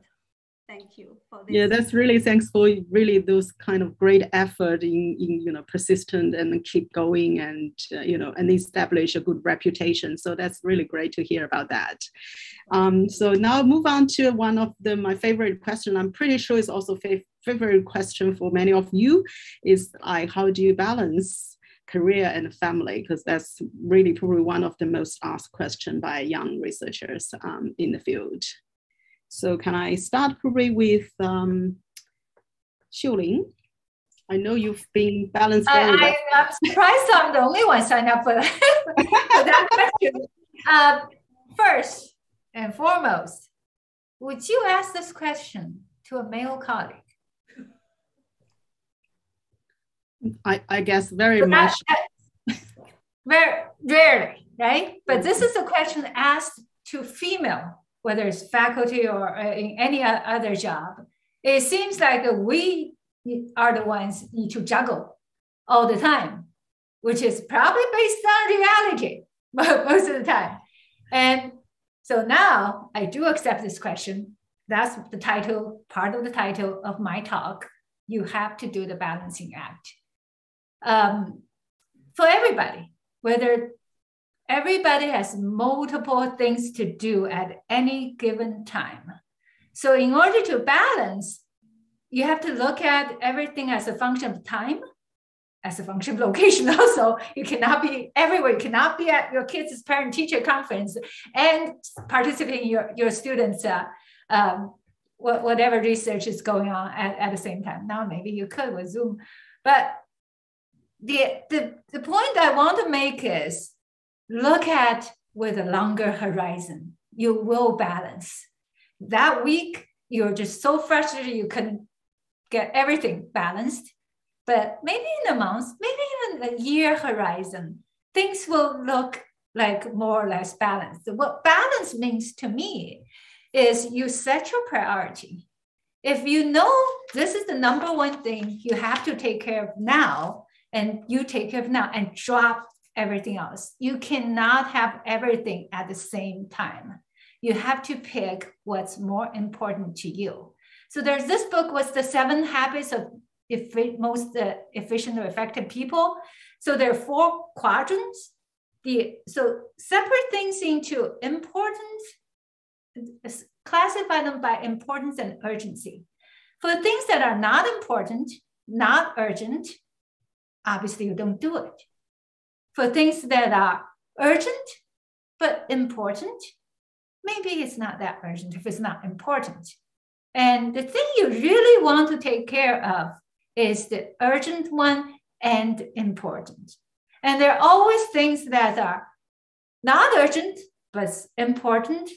And I get the example of an NASA proposal in the US since they removed the deadline, they received far fewer proposals because it's not urgent anymore. There's no deadline I have to beat. So, but it's important. It's always in the back of your mind. So take those and move it to uh, the list, to, to, to, to top of your list. So what you value most, whether it's your personal life, your students, yourself, make sure you know your priority. The other thing about balancing is uh, compartmentalize. Some things you cannot, you, you're so frustrated with one thing that almost make you not being able to function on anything else. That is a quality you got to train yourself not to do. And it's something you, you have to put it aside, put it in one compartment and do the other thing, then come back and visit. A lot, the, the saying about time will heal is real. And whether that's heal because you just couldn't do anything about it, but a lot of time, if you change your mindset, you actually get new ideas. I used to work for a startup company before I took the faculty job. But one of the people who reported to me, my coworkers work together, um, said to me something I didn't realize I had.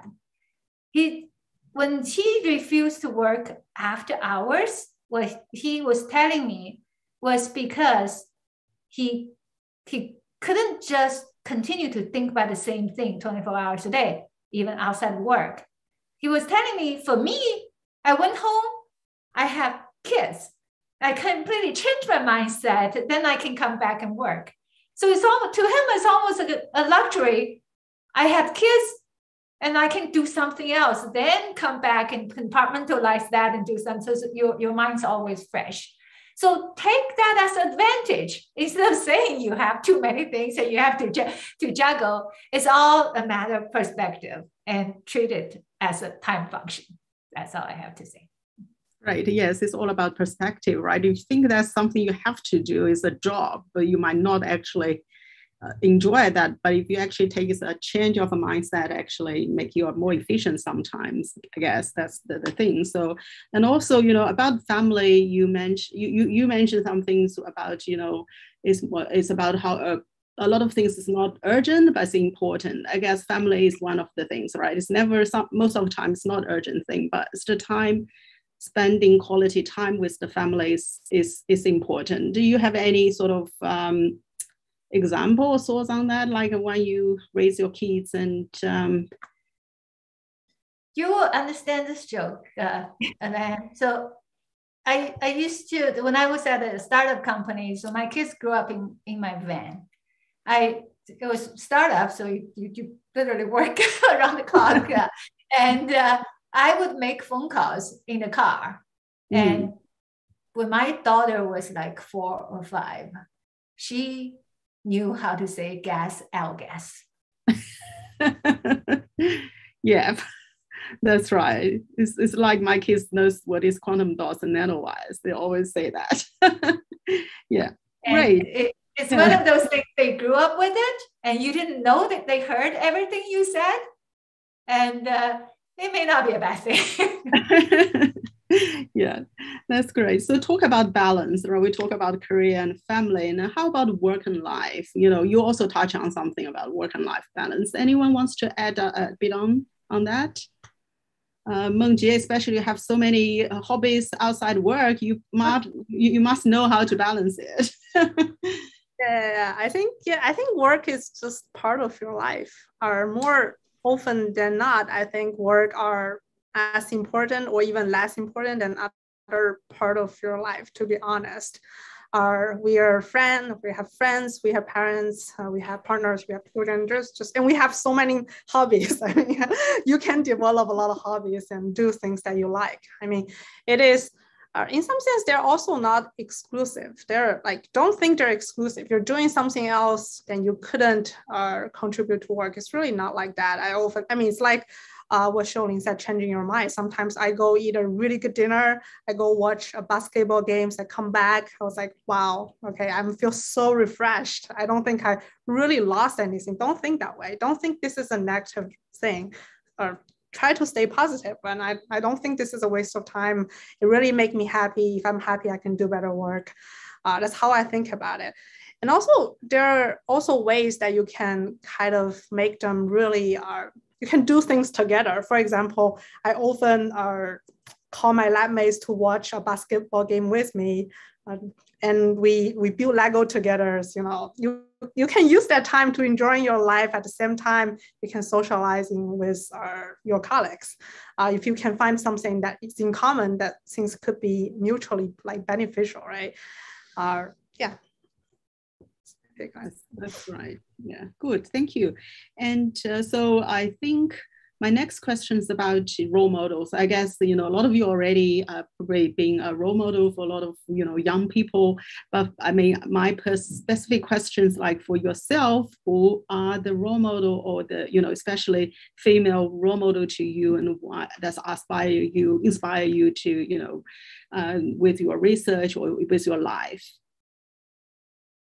Sandra, do you have any thoughts on that?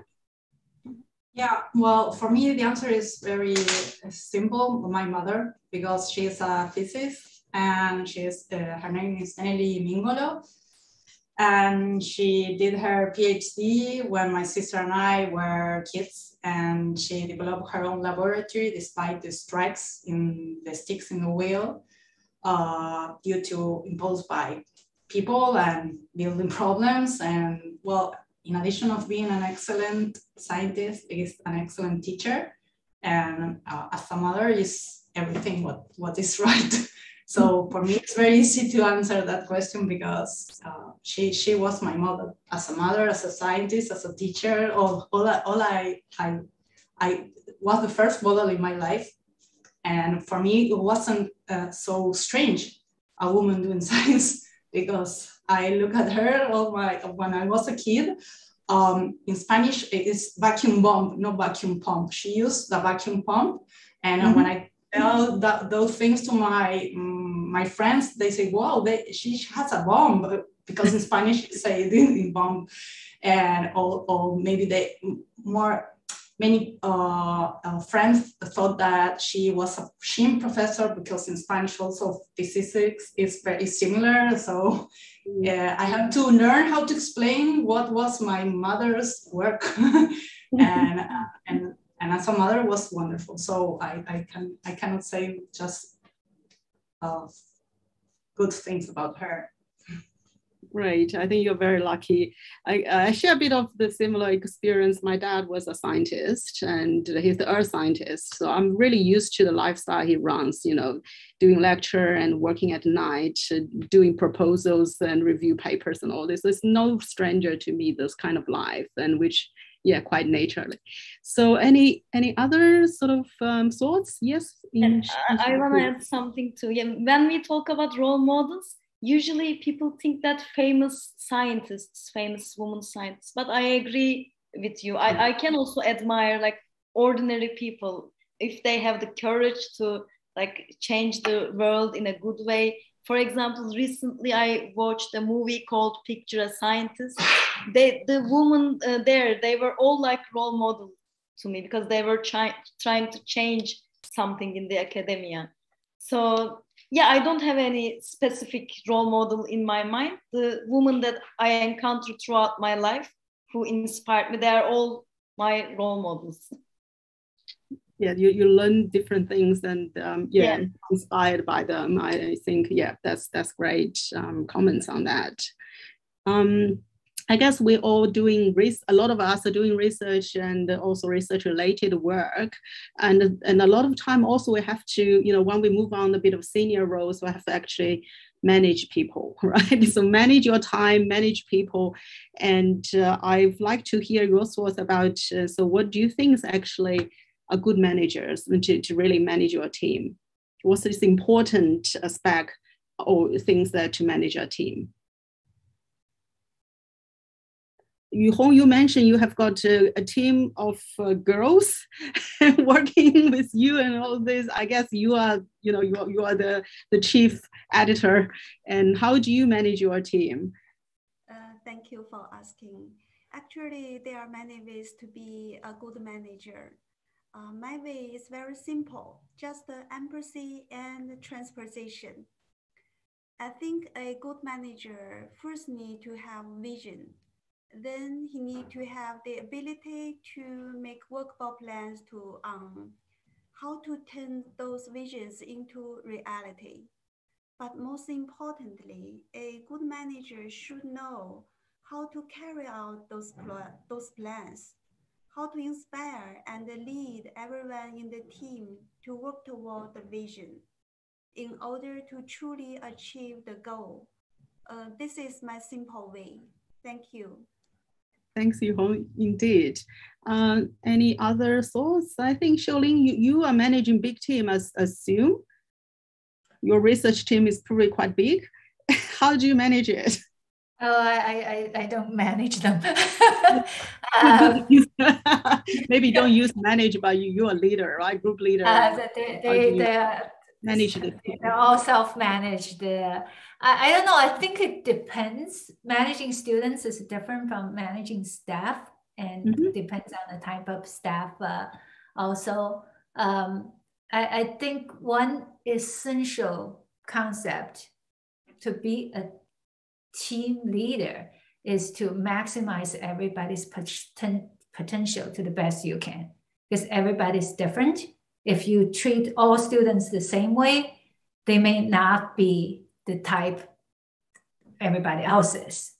So they have a different working style. They they tend to work in the evening or in the morning.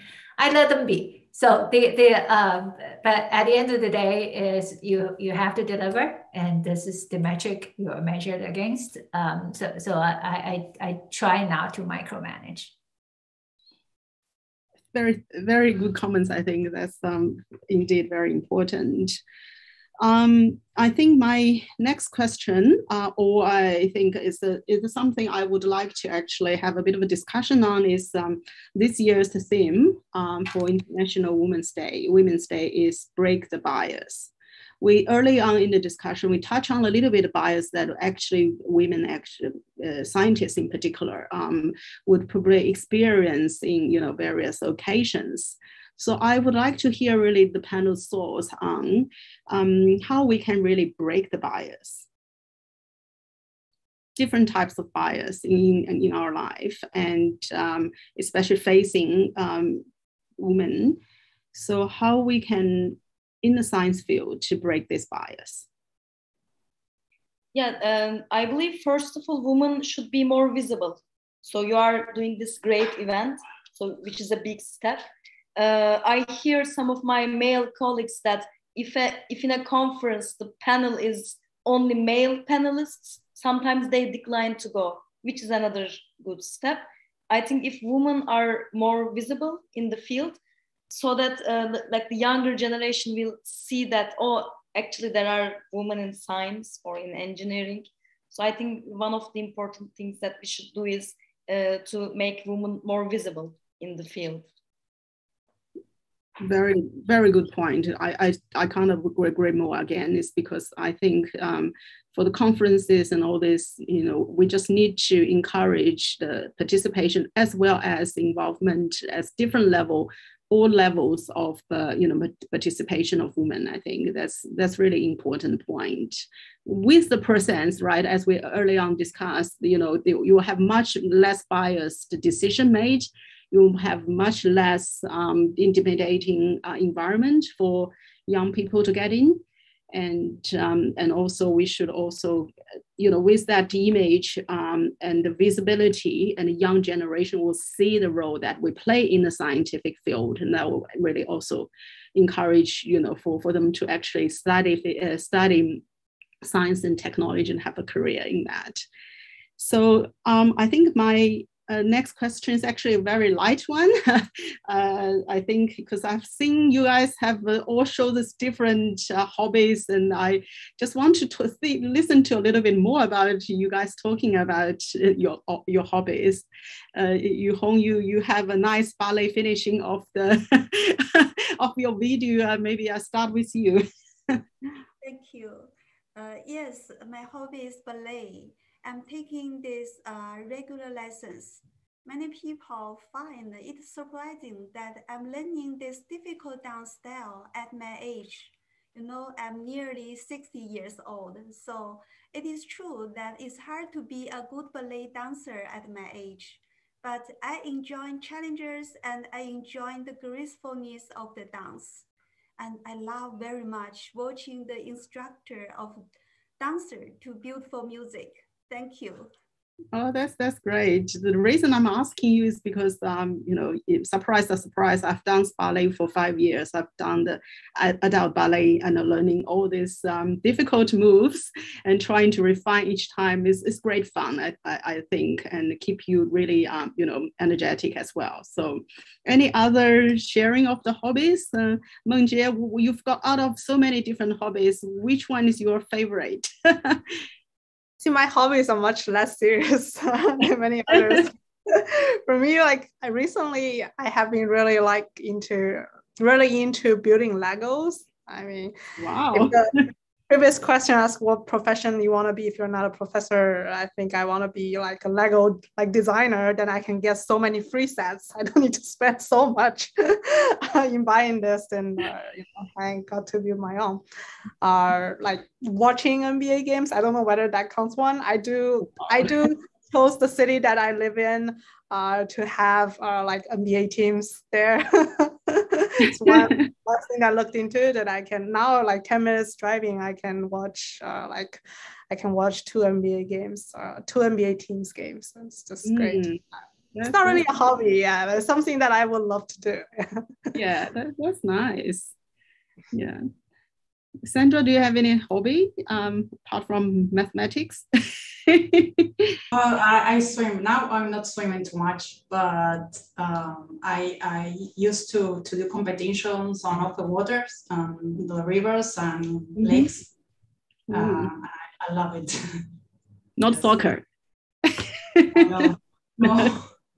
It's not common. Well, this is a, a, a some a problem in Argentina. It's not common women uh, playing soccer. Now oh. is is no now is uh, is making a fashion. But when I was a kid, was well, women yeah. play volley, women play yeah hockey, hockey the, other one not hockey, hockey, yeah.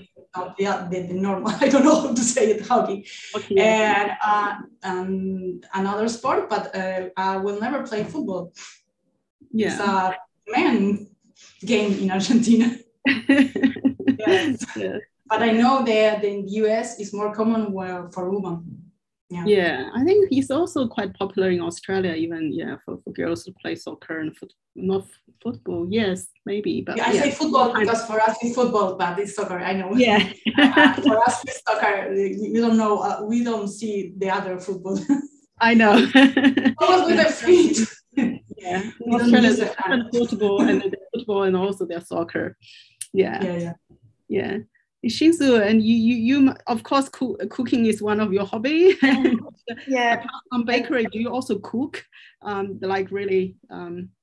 Uh, I would like to first add a thing about the soccer. We also call it football in Turkey. Uh, we don't uh. call it soccer, and we, we don't know the uh, like the football that people uh, play here. Uh, and similarly, Turkish people they are very interested in uh, soccer, let's say. And unfortunately, uh, the women are not involved in soccer at all.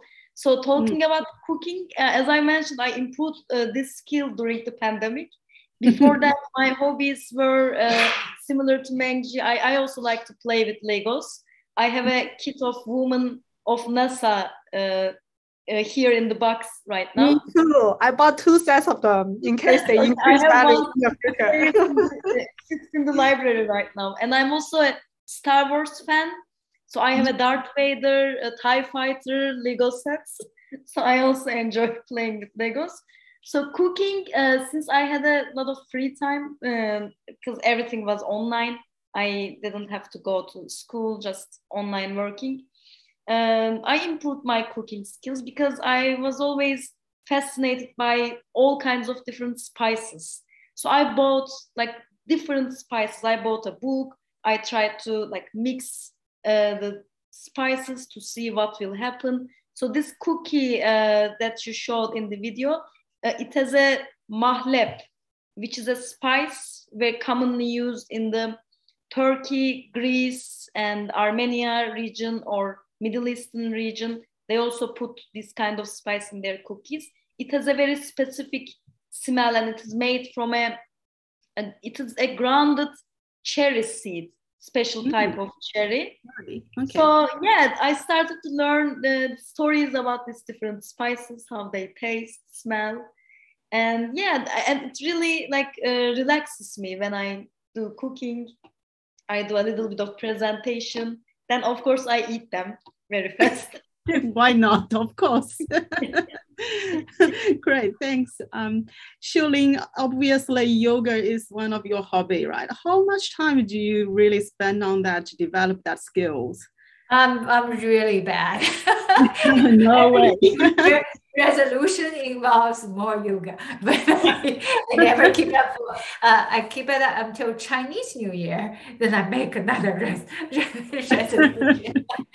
Same here. Um, I, I, I think uh, to uh, most scientists are kind of boring. we don't have that much uh, hobby. We take it to the level, then you can be a professional. So when I was in college, P- Peking University, I was part of the orchestra.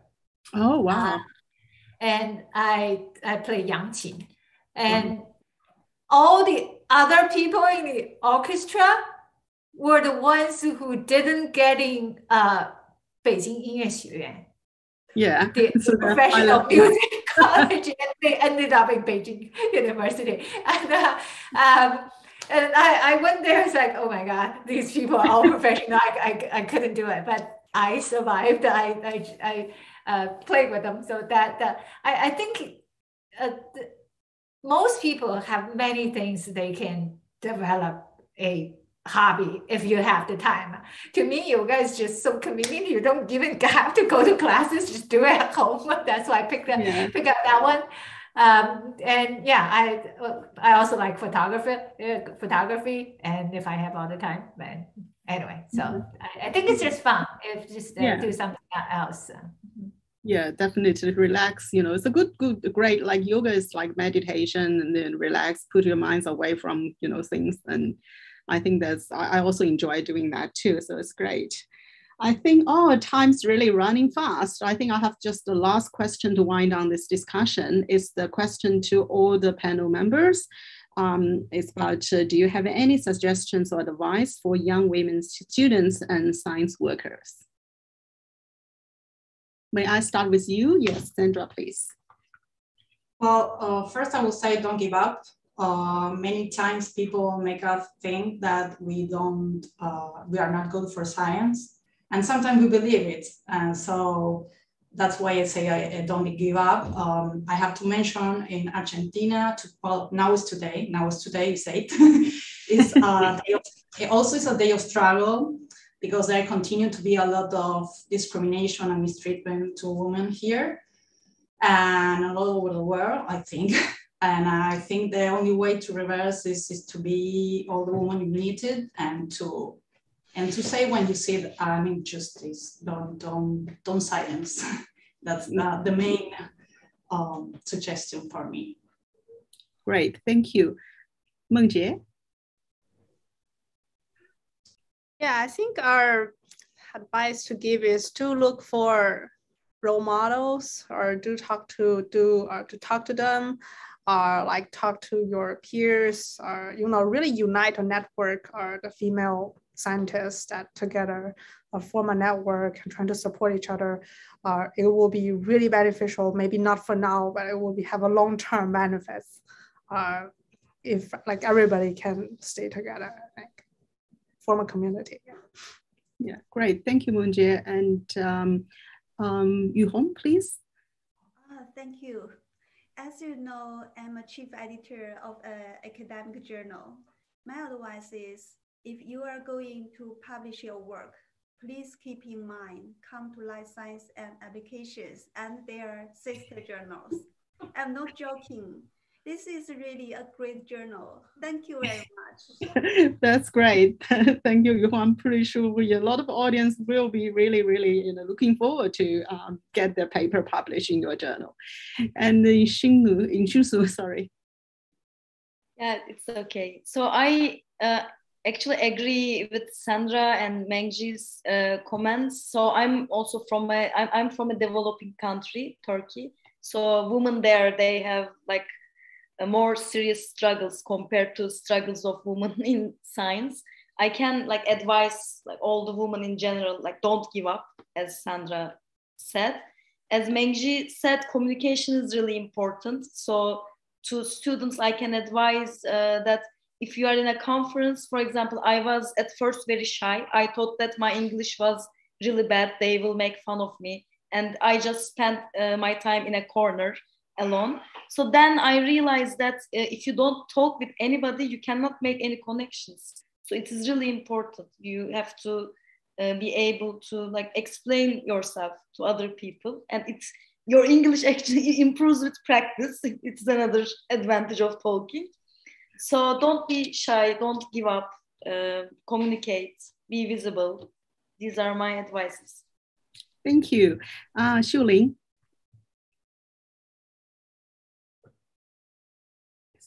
Sorry, Shirley, you were muted. All right. Okay, I'm not. Yeah, sorry. Sorry about that. Uh, uh, so I heard a lot of those advice: be persistent and, and uh, all of that. But you have to get in the door. You have to not be afraid to do something.